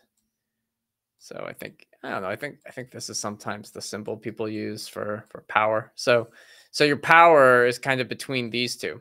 And that's a three electrode system. Oh, you didn't connect it to the working electrode. It's connected to the cell. oh, it's connected to the cell. now it's like an infinite loop. yeah, yeah, yeah, yeah. Oh, thank you, thank you for pointing that out. Need to yeah, delete that and then just make this guy This go. is like Pointless nitty gritty here, but well, no, but I also want to make sure that there's like a level of accuracy. yeah, so of course. Well, you always draw it well, and then and just like, oh, connected to the glass cell. It's like, wait, I connected to the glass cell. Yeah, yeah. This is all like water, or something like that. Now that's uh, this is this is three electrode to fill in all the water here. This very clear. This could be an organic solvent too, but but then in a two electrode system. So let's get rid of this. So in our two electrode system, we're just kind of connecting it this way. This this just goes here. So both the power and measurement is between these two electrodes. And what commonly happens is the potential of the counter electrode is changing during the experiment. Fill this in. So it's changing during the experiment, which means that what the, the potential of the working electrode is not well known because the reference point that it's being referred to is changing. So you can't know it in a very, I would say, absolute sense. Um, so that hopefully kind of addresses the question about, uh, you know, what if you're working in a two versus three electrode system without a reference? So hopefully that was helpful. Suddenly we got like four more questions. Okay. Oh, four more questions. Explore South Korea. Could you please tell me what is the role of there it is, yep. Yeah. Biased potential in electrochemical reduction of CO2.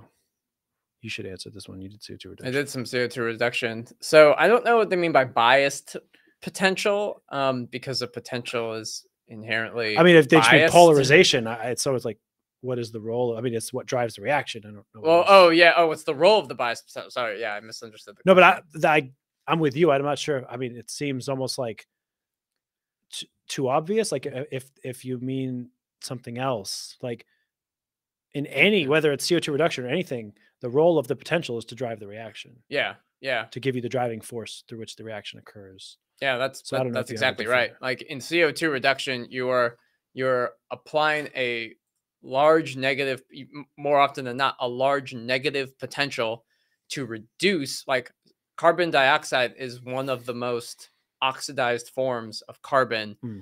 that's just out there. And so you're trying to reduce it to something that's less oxidized. Even carbon monoxide is a reduced form of carbon compared to CO2. So the potential is that driving force to overcome the thermodynamics of of getting the electrons and, and protons actually to convert CO2 into something into something else. That's what the potential uh, does. It doesn't happen naturally, right? So hopefully that uh, and, explore South Korea. If you want more uh, details, uh, please please let me know. But I hope that was I hope that was helpful. Um, What are the benefits of downside benefits or downsides? Probably yeah. um, the different methods to determine the solution resistance. Oh, potential step, current interrupt. I'm not sure. Current can inter- in- interrupt. Probably. current. Inter- oh yeah, and positive feedback. Yeah. Um. And so current. EIS. yeah, you're missing. Yeah. Yes. Um. That's okay. So, uh, well, the downsides, in my opinion, of cur- um, current interrupt, current interrupt is my is, is the one I, I like the least personally, Okay. and I and I find it to be the, the least valuable or the least accurate, simply because so current interrupt the the the philosophy is, I have my cell connected, and then if I can if I am able to immediately disconnect the counter electrode what will happen is that will have an immediate drop. Okay, um, in in in current, and then it will decay to zero. But but it's like there's a split second where the drop in current as a result of that disconnect is related only to the capacitance discharge Yeah. right so so you you have a you have a bill you have a capacitance on your electrode and so if i disconnect the counter electrode i'm opening it up completely and so all the current will drop but before that the capacitor on the surface will briefly discharge and so that um, discharge capacitance can be related and you can get a, a measure is it you can get a measure of the resistance from that or something like that Yeah. Um, but essentially you, if you want to show the reaction or the, or the equation that would be good. Essentially the reason i don't like it is because what it necessitates is that you have the ability with your software with your potentiostat with everything to measure on the speed at which that capacitance is discharged. Yeah alex is going to draw the circuit to kind of show what happens. The problem is that that capacitance discharges so fast that it's milliseconds or microseconds or Yeah. whatever. And so what you have to hope is that right. number one, your potentiostat and your time resolution in whatever instrument you're using can number one measure that fast, which is not a guarantee. Yeah. And then number two, the accuracy of the measurement at that speed is related just to that CDL uh uh um right uh, uh, yeah. Hold on. whatever. So current. we should get rid of the question so we can see. Uh, yeah. Sorry. I got it. Um, and so it's Yeah, so you're getting the R from this because the the capacitor is bypassed or something. looks a little bit different. Hold on. So tech tech not technically technically, but um, I think it would look a little bit more like be a gap, and then it'd it would kind yeah of a exactly. gap. So that gap is what you're looking at. Yeah. So yeah, and this this gap, th- yeah, the actually both potential so both potential step and current interrupt, they both assume the same. They're actually like equal and opposites of how they're approaching things. Yeah. It's like current interrupt is apply a constant current and then drop it. Potential step is apply a step. Apply a st- you're going in opposite You're directions. just kind of going the Yeah, opposite but- directions. Yeah, exactly. So that current is a is related to a drop in the potential because you went from whatever potential to open circuit. So there's a Yeah. different there's an E, a delta E, and a delta I. and Yeah. you use Ohm's law, and you can get the resistance. Right. Yeah. So this is, uh, and then so we uh, we know what the E is. Yeah, whatever it is. That's what we just applied, and then we know this delta I. Yeah. Yeah. And, and, so and it goes from E to zero versus OCP. Whatever the whatever the change in the voltage is, it goes to open circuit. Yeah. yeah. So yeah. So so yeah. The idea, yeah. Again, to kind of reiterate what what Neil said, the idea here is that, um, you you charge this capacitor by holding the potential, and you get this current. It's constant. It's and this is a potential where there's no Faradaic processes. So this RCT is very large.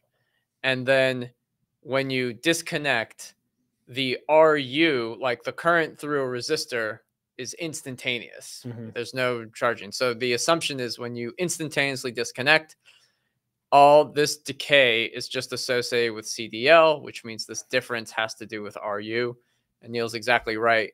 This has to do with the speed at with which an instrument is collecting data points.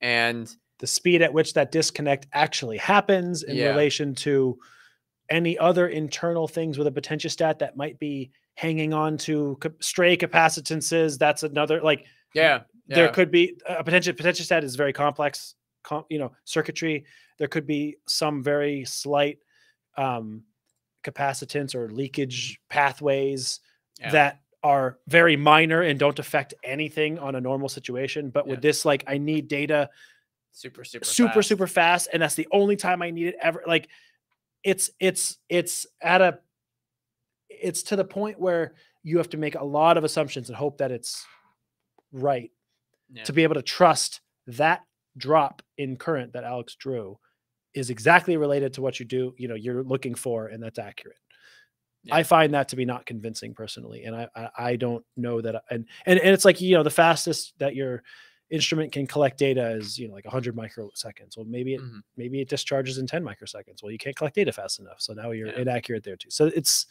it's uh it's tricky. I don't like that one very much. Um, I personally like positive feedback. I Yeah. think, I think it's kind of cool Yeah.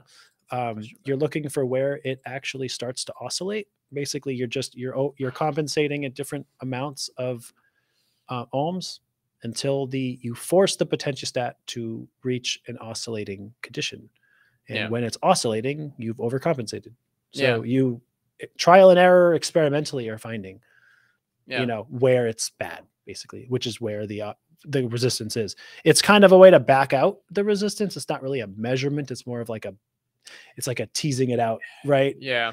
whereas eis which is the one that you didn't mention because potential step and positive feedback that's the same thing basically. Basically the same yeah um eis is the best well it's the most common i suppose and, Yeah. and probably the best method to directly measure that because you're just doing high frequency um, pulses and you get a direct measurement you're bypassing um, the other capacitive processes and uh, you just get a direct measurement of Mhm. the leading resistor which is the iru so so that's a pretty easy Yeah. and reliable method relatively speaking to get that um, to get that resistance Yeah. I'll say one thing that I don't like about so so one thing that's kind of bad about I, I agree with Neil that positive feedback is actually very good. It's like you want to figure out what the solution resistance is, but really what you want to Oh, do is figure out how much you need to compensate for. Yep. But uh, sometimes uh, actually we didn't even realize this until later, but if you go to most literature as well as what other other company potentiostats do, is you'll measure the current uh, how does the current oscillate as you apply positive feedback but really when you use a potential step and you met and you look for oscillations in the potential that's a that's actually much more reliable but it's also sometimes difficult to determine like where what what is what really is proper oscillation like yeah okay, this is a squiggly line. This is also a squiggly line. This is a slightly more squiggly line. and then it goes crazy. I'm like, well, what level which- of squiggliness yeah, is what a- level of squiggliness is is good for me, right? Yeah. So no amount of squiggliness is good for you yeah, that's just reality that's kind of the that's the only problem I have with it. But yeah, it, it usually works. Mm. Um, so that's that's good. So yeah, that, that's a drawback I would say, um, of of positive feedback. But uh, yeah hopefully that answers your question. yeah so eis is, is probably your best bet Yeah, honest. the one that you didn't that you the one you play. didn't mention that's Yeah. correct yes but uh, yeah Um, it looks like we got one more question yeah, and we'll answer this and probably call it a day yeah. but uh, can we convert copper oxide nanoparticles to pure copper nanoparticles i doubt it Yeah. I doubt it, honestly. Um, for a couple of reasons. First of all, copper to copper oxide. I mean, is it irreversible? I, I think you can reduce largely- copper oxide to copper, Yeah, but I think that it's not going to form the same morphology. it's not going to form the same morphology. And I think that um, I want to say there's actually some embedded like copper oxide. Like it's not just, oh, a monolayer on the top that's oxide. Yeah, I think so- it goes pretty deep, and that is yeah. probably not going to get easily converted back to pure Right. pure copper. Because it's like if you were to just have this like particle of copper oxide or whatever, and you and you try to reduce it to copper, like maybe the surface, Yeah. you'll have some copper on the surface, but it'll have a core of copper oxide still. yeah. because that's not in contact with solution. It- like there's some depth of which it will something will happen, but not like completely. You know, and then you're assuming the morphology will remain the same, which is probably not the case. And then there's also just the fact that oxides, in particular for copper, are are rust. Right? I mean, that's just well, iron is rust, Yeah, but like yeah, yeah. like you know, generally speaking, oxides of of transition metals are often uh bad news, right? Like Yeah. in some in some cases it's not a good you know eh, and it depends it's c is it cuo or is it spinel is it cu is it cu304 right Oh, there's there's different right. oxidation states Yeah. i don't know if copper has a spinel like molybdenum has a spinel uh you know uh lattice so there, there's different options there right but the point is they're not all created equal they're not all sort of equally reducible some of them are like sometimes these oxides sometimes there are, sometimes they're not. Sometimes they're they go from metallic to semiconducting. Sometimes they go from metallic to completely not conductive very Yeah. much. Now I think copper oxide is relatively conductive, but um, there's just some open questions there. But generally speaking, uh, I think the answer is probably not in the way that you're thinking that like my one particle just becomes, you know, from copper oxide to pure copper with just a potential. Maybe if it's small enough, you know, Yeah. maybe, but but but uh, maybe, but I I I don't think it would be exactly that easy and that straightforward. Unfortunately, Yeah, I, th- I think guess. that you can. Um, yeah, I, I think you might have to do some experiments. Like you might be able to reduce some copper oxide Mhm. back to copper. Um, Yeah. and it's. I'm also thinking about the nanoparticle thing because, like, I've seen people. Um, I've seen some people like actually one thing I used to do like uh there's an instrument called uh, uh CHN analysis or ultimate analysis. It would give you the elemental ultimate analysis sounds. it like was called ultimate analysis it was it was actually very cool um but it- literally you take a sample of something i weighed out like maybe one milligram of a sample and then you would blow it up and then you would it would measure the carbon hydrogen nitrogen it was it gave you the empirical analysis of a molecule and for some reason i don't know what it was but these things consumed like copper filings and what we would do is, you, know, you, you have the copper filing, you know, when you put it in, it looks nice. It's like kind of pinkish, right? But then after the whole thing's done, it's oxidized like crazy and it's black. And we used to put the copper filings in this like furnace tube and blow hydrogen across it. Hmm. And it would it would reduce and you would actually see water dripping off of it. Yeah. Um so you could you could even do like a gas you could try even a gas phase reduction of copper oxide to copper. It's just the nanoparticles, the morphology, like nanostructures are like complicated, like as Neil said. Mhm. Um, so something some things to keep in mind. Um, but uh, I think we've given you at least a lot of thoughts and ideas with regard to reduction and conversion of copper oxide to copper nanoparticles. Yeah. So, but let us know if you're able to create them. That would be cool for us to know. Yeah, that, that that's interesting proposition. Yeah. I think it depends on them. A lot of the specifics of your experiment, of course. But Yeah. Yeah. All right, I guess we'll wrap it up here. It's been Yeah. uh, it's been more than two hours. Thank you everybody Yeah. for coming and thank you for the questions. Um, I hope that we were did a good enough job answering Yeah. them and we weren't too ridiculous with our supportive electrodes and Yeah. jokes and things. things like That's that. that's that's what we do. We can't help ourselves. Yeah. Yeah. And um, we will we'll try. Um, I won't be Well, here next week. you won't be here next week. Um, we might have a series of weeks where it's hairy. yeah. Yeah. you're I'll- traveling I'll, be after here next week. Yeah, you will. And then the week after that, I might be here. You won't. Maybe. Yeah. I could. I could. I could. I might still be able to log in from where you are. from. I'll be in Grove City, Okay, so I can still log in should be able to. All right, there. And the following week I'll be good. So I should. I should be good. There- There's actually some some Okay. time. Um. On, let's see. Oh, Pete's got a question. Yeah, I, I think we can maybe we can answer relatively quickly. How does one get good electrical connection to carbon? Oh, fiber as well as graphite. Um, yeah. well, the prob-. Oh, The problem is, yeah, it, it, it's crumbly, right? Um, Yeah. So uh, you can't really clip to it with normal alligator clips because they have teeth, and it'll sometimes it crunches the carbon, um, and that won't work always so well. Or it depends how. it- there's a lot of different kinds of carbon. It's yeah. it can be brittle. Um, so they make conductive epoxies. So what- Yeah. what you can do is you can take a corner of it, Yeah. and um, and put a glob of like conductive epoxy with a metal, Yeah. like a, silver like with like a, with a like wire. yeah, like silver epoxy, and you get like put a wire on it Yeah. and epoxy a wire and have it dangle, and it's a glue, right? It's like a glue. So that keeps the conductivity, and then you can like alligator clip or whatever to like the wire that's connected Mm-hmm. to it. That's one option. And then if you have to, you can use like Teflon tape to insulate part of it. Um, Or otherwise, copper they- tape. copper tape, yeah, th- copper there's tape copper tape. It's a conductive, right? Basically, you're might- looking for something that's adhesive and conductive. So they Mm-hmm. Yeah. make copper tape. I think there's silver tape Yeah. um, silver epoxy, right? Yeah. Glue. That that's a little, you know, all of these are tricky too because it's like you know it'll, it'll affect the surface area. That will become part of the electrode if it gets wet, which is why sometimes you do like epoxy and then you wrap it in Teflon tape so that it isn't as much as you can. It's like insulated from solution, Mhm. right? Because you know then the epoxy is part of your electrode. You don't want to do electrochemistry on an epoxy. Parallel clamps, yeah. And there's um, they make alligator clips that are flat.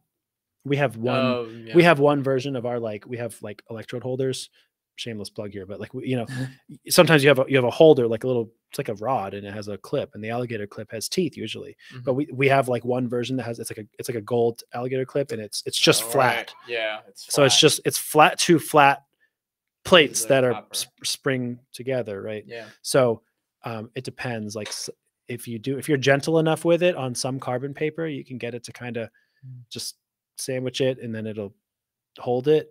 If you squeeze too hard, it'll sometimes it'll crunch, and you know, it's again, it's brittle. Yeah. But yeah, I'm familiar with this. Uh, carbon paper is really brittle. It's a pain in the butt to connect to. Um, it's great. It's porous. It's conductive and everything, but it's uh, it's hard to connect to when you're using it as an electrode. So uh, yeah, try some of those adhesive things that might help. Um, Yeah. Or a flat clip, or you know, otherwise, if it's like a fiber or like a carbon cloth, you can try weaving in like a metal, like a like you know what I mean, like uh, go in and out with a um like a silver wire to, to Mhm. keep it in place and s- squeeze it together well and maybe wrap it so, so you can improve your connection but you can try stuff like that because carbon's a bit of a carbon's great but it's a pain with Yeah. those uh, morphologies so yeah give some of that a try Yeah, and uh, and Pete Venuti, just FYI, I think you had a question on um that you put on on like maybe two live streams ago, and I think I answered it on the last live stream. So hopefully you got that. Uh, let me know if you if you were able to get that answer. I forgot. There's so many questions. I just forgot. yeah like, just remember the name who who asked who asked what. yeah yeah yeah But um, it should be the answer should be there. Um, last you- week's or the week before I think it was. I want to say it was last week's. no I think, but we'll see. We'll see. i think it was last week because i think the week before i wasn't here Yeah, the week before you I- weren't there. i remember you answering the question I, th- Okay. I think it was last week so that so that'd be episode four, 14 last week. I think it was 14. This would this is be- 15 right now, so yeah. Yes. Okay.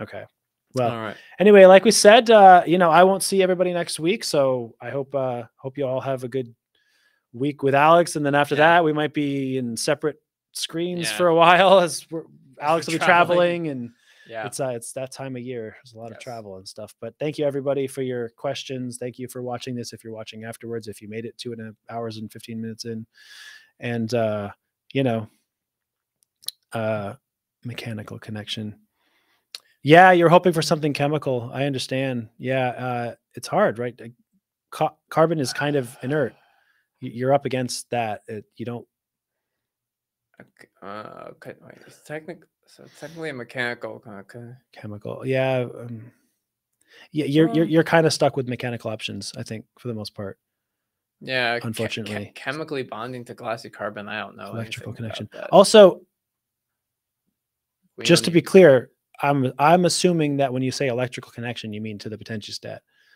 I, i'm assuming you don't mean like like um, chemically making your yeah like making your catalyst on it yeah. that's not what i had in mind that's a different Yeah. discussion that does work chemically and electrochemically i'm assuming that you're referring to connecting connecting it to your potentiostat cable Mhm. that's what i thought you meant by electrical connection yeah. pete so for what it's worth if that is what you meant i do think that probably you're stuck with mechanical solutions Yeah. I think almost every, like we use mechanical solutions for Yeah. making any electrodes. So like yeah you, you can't get around the arts and crafts part of electrochemistry yeah. Yeah. There's a lot of that so Okay. cool all right Okay. well anyway right, again this is our third attempt we'll try to Yeah. end the live stream now Yeah. so yeah thank you all very much and right. uh we'll catch you all in uh whenever we see you again Yeah, next yeah. week or whenever All right. Bye, everyone. take care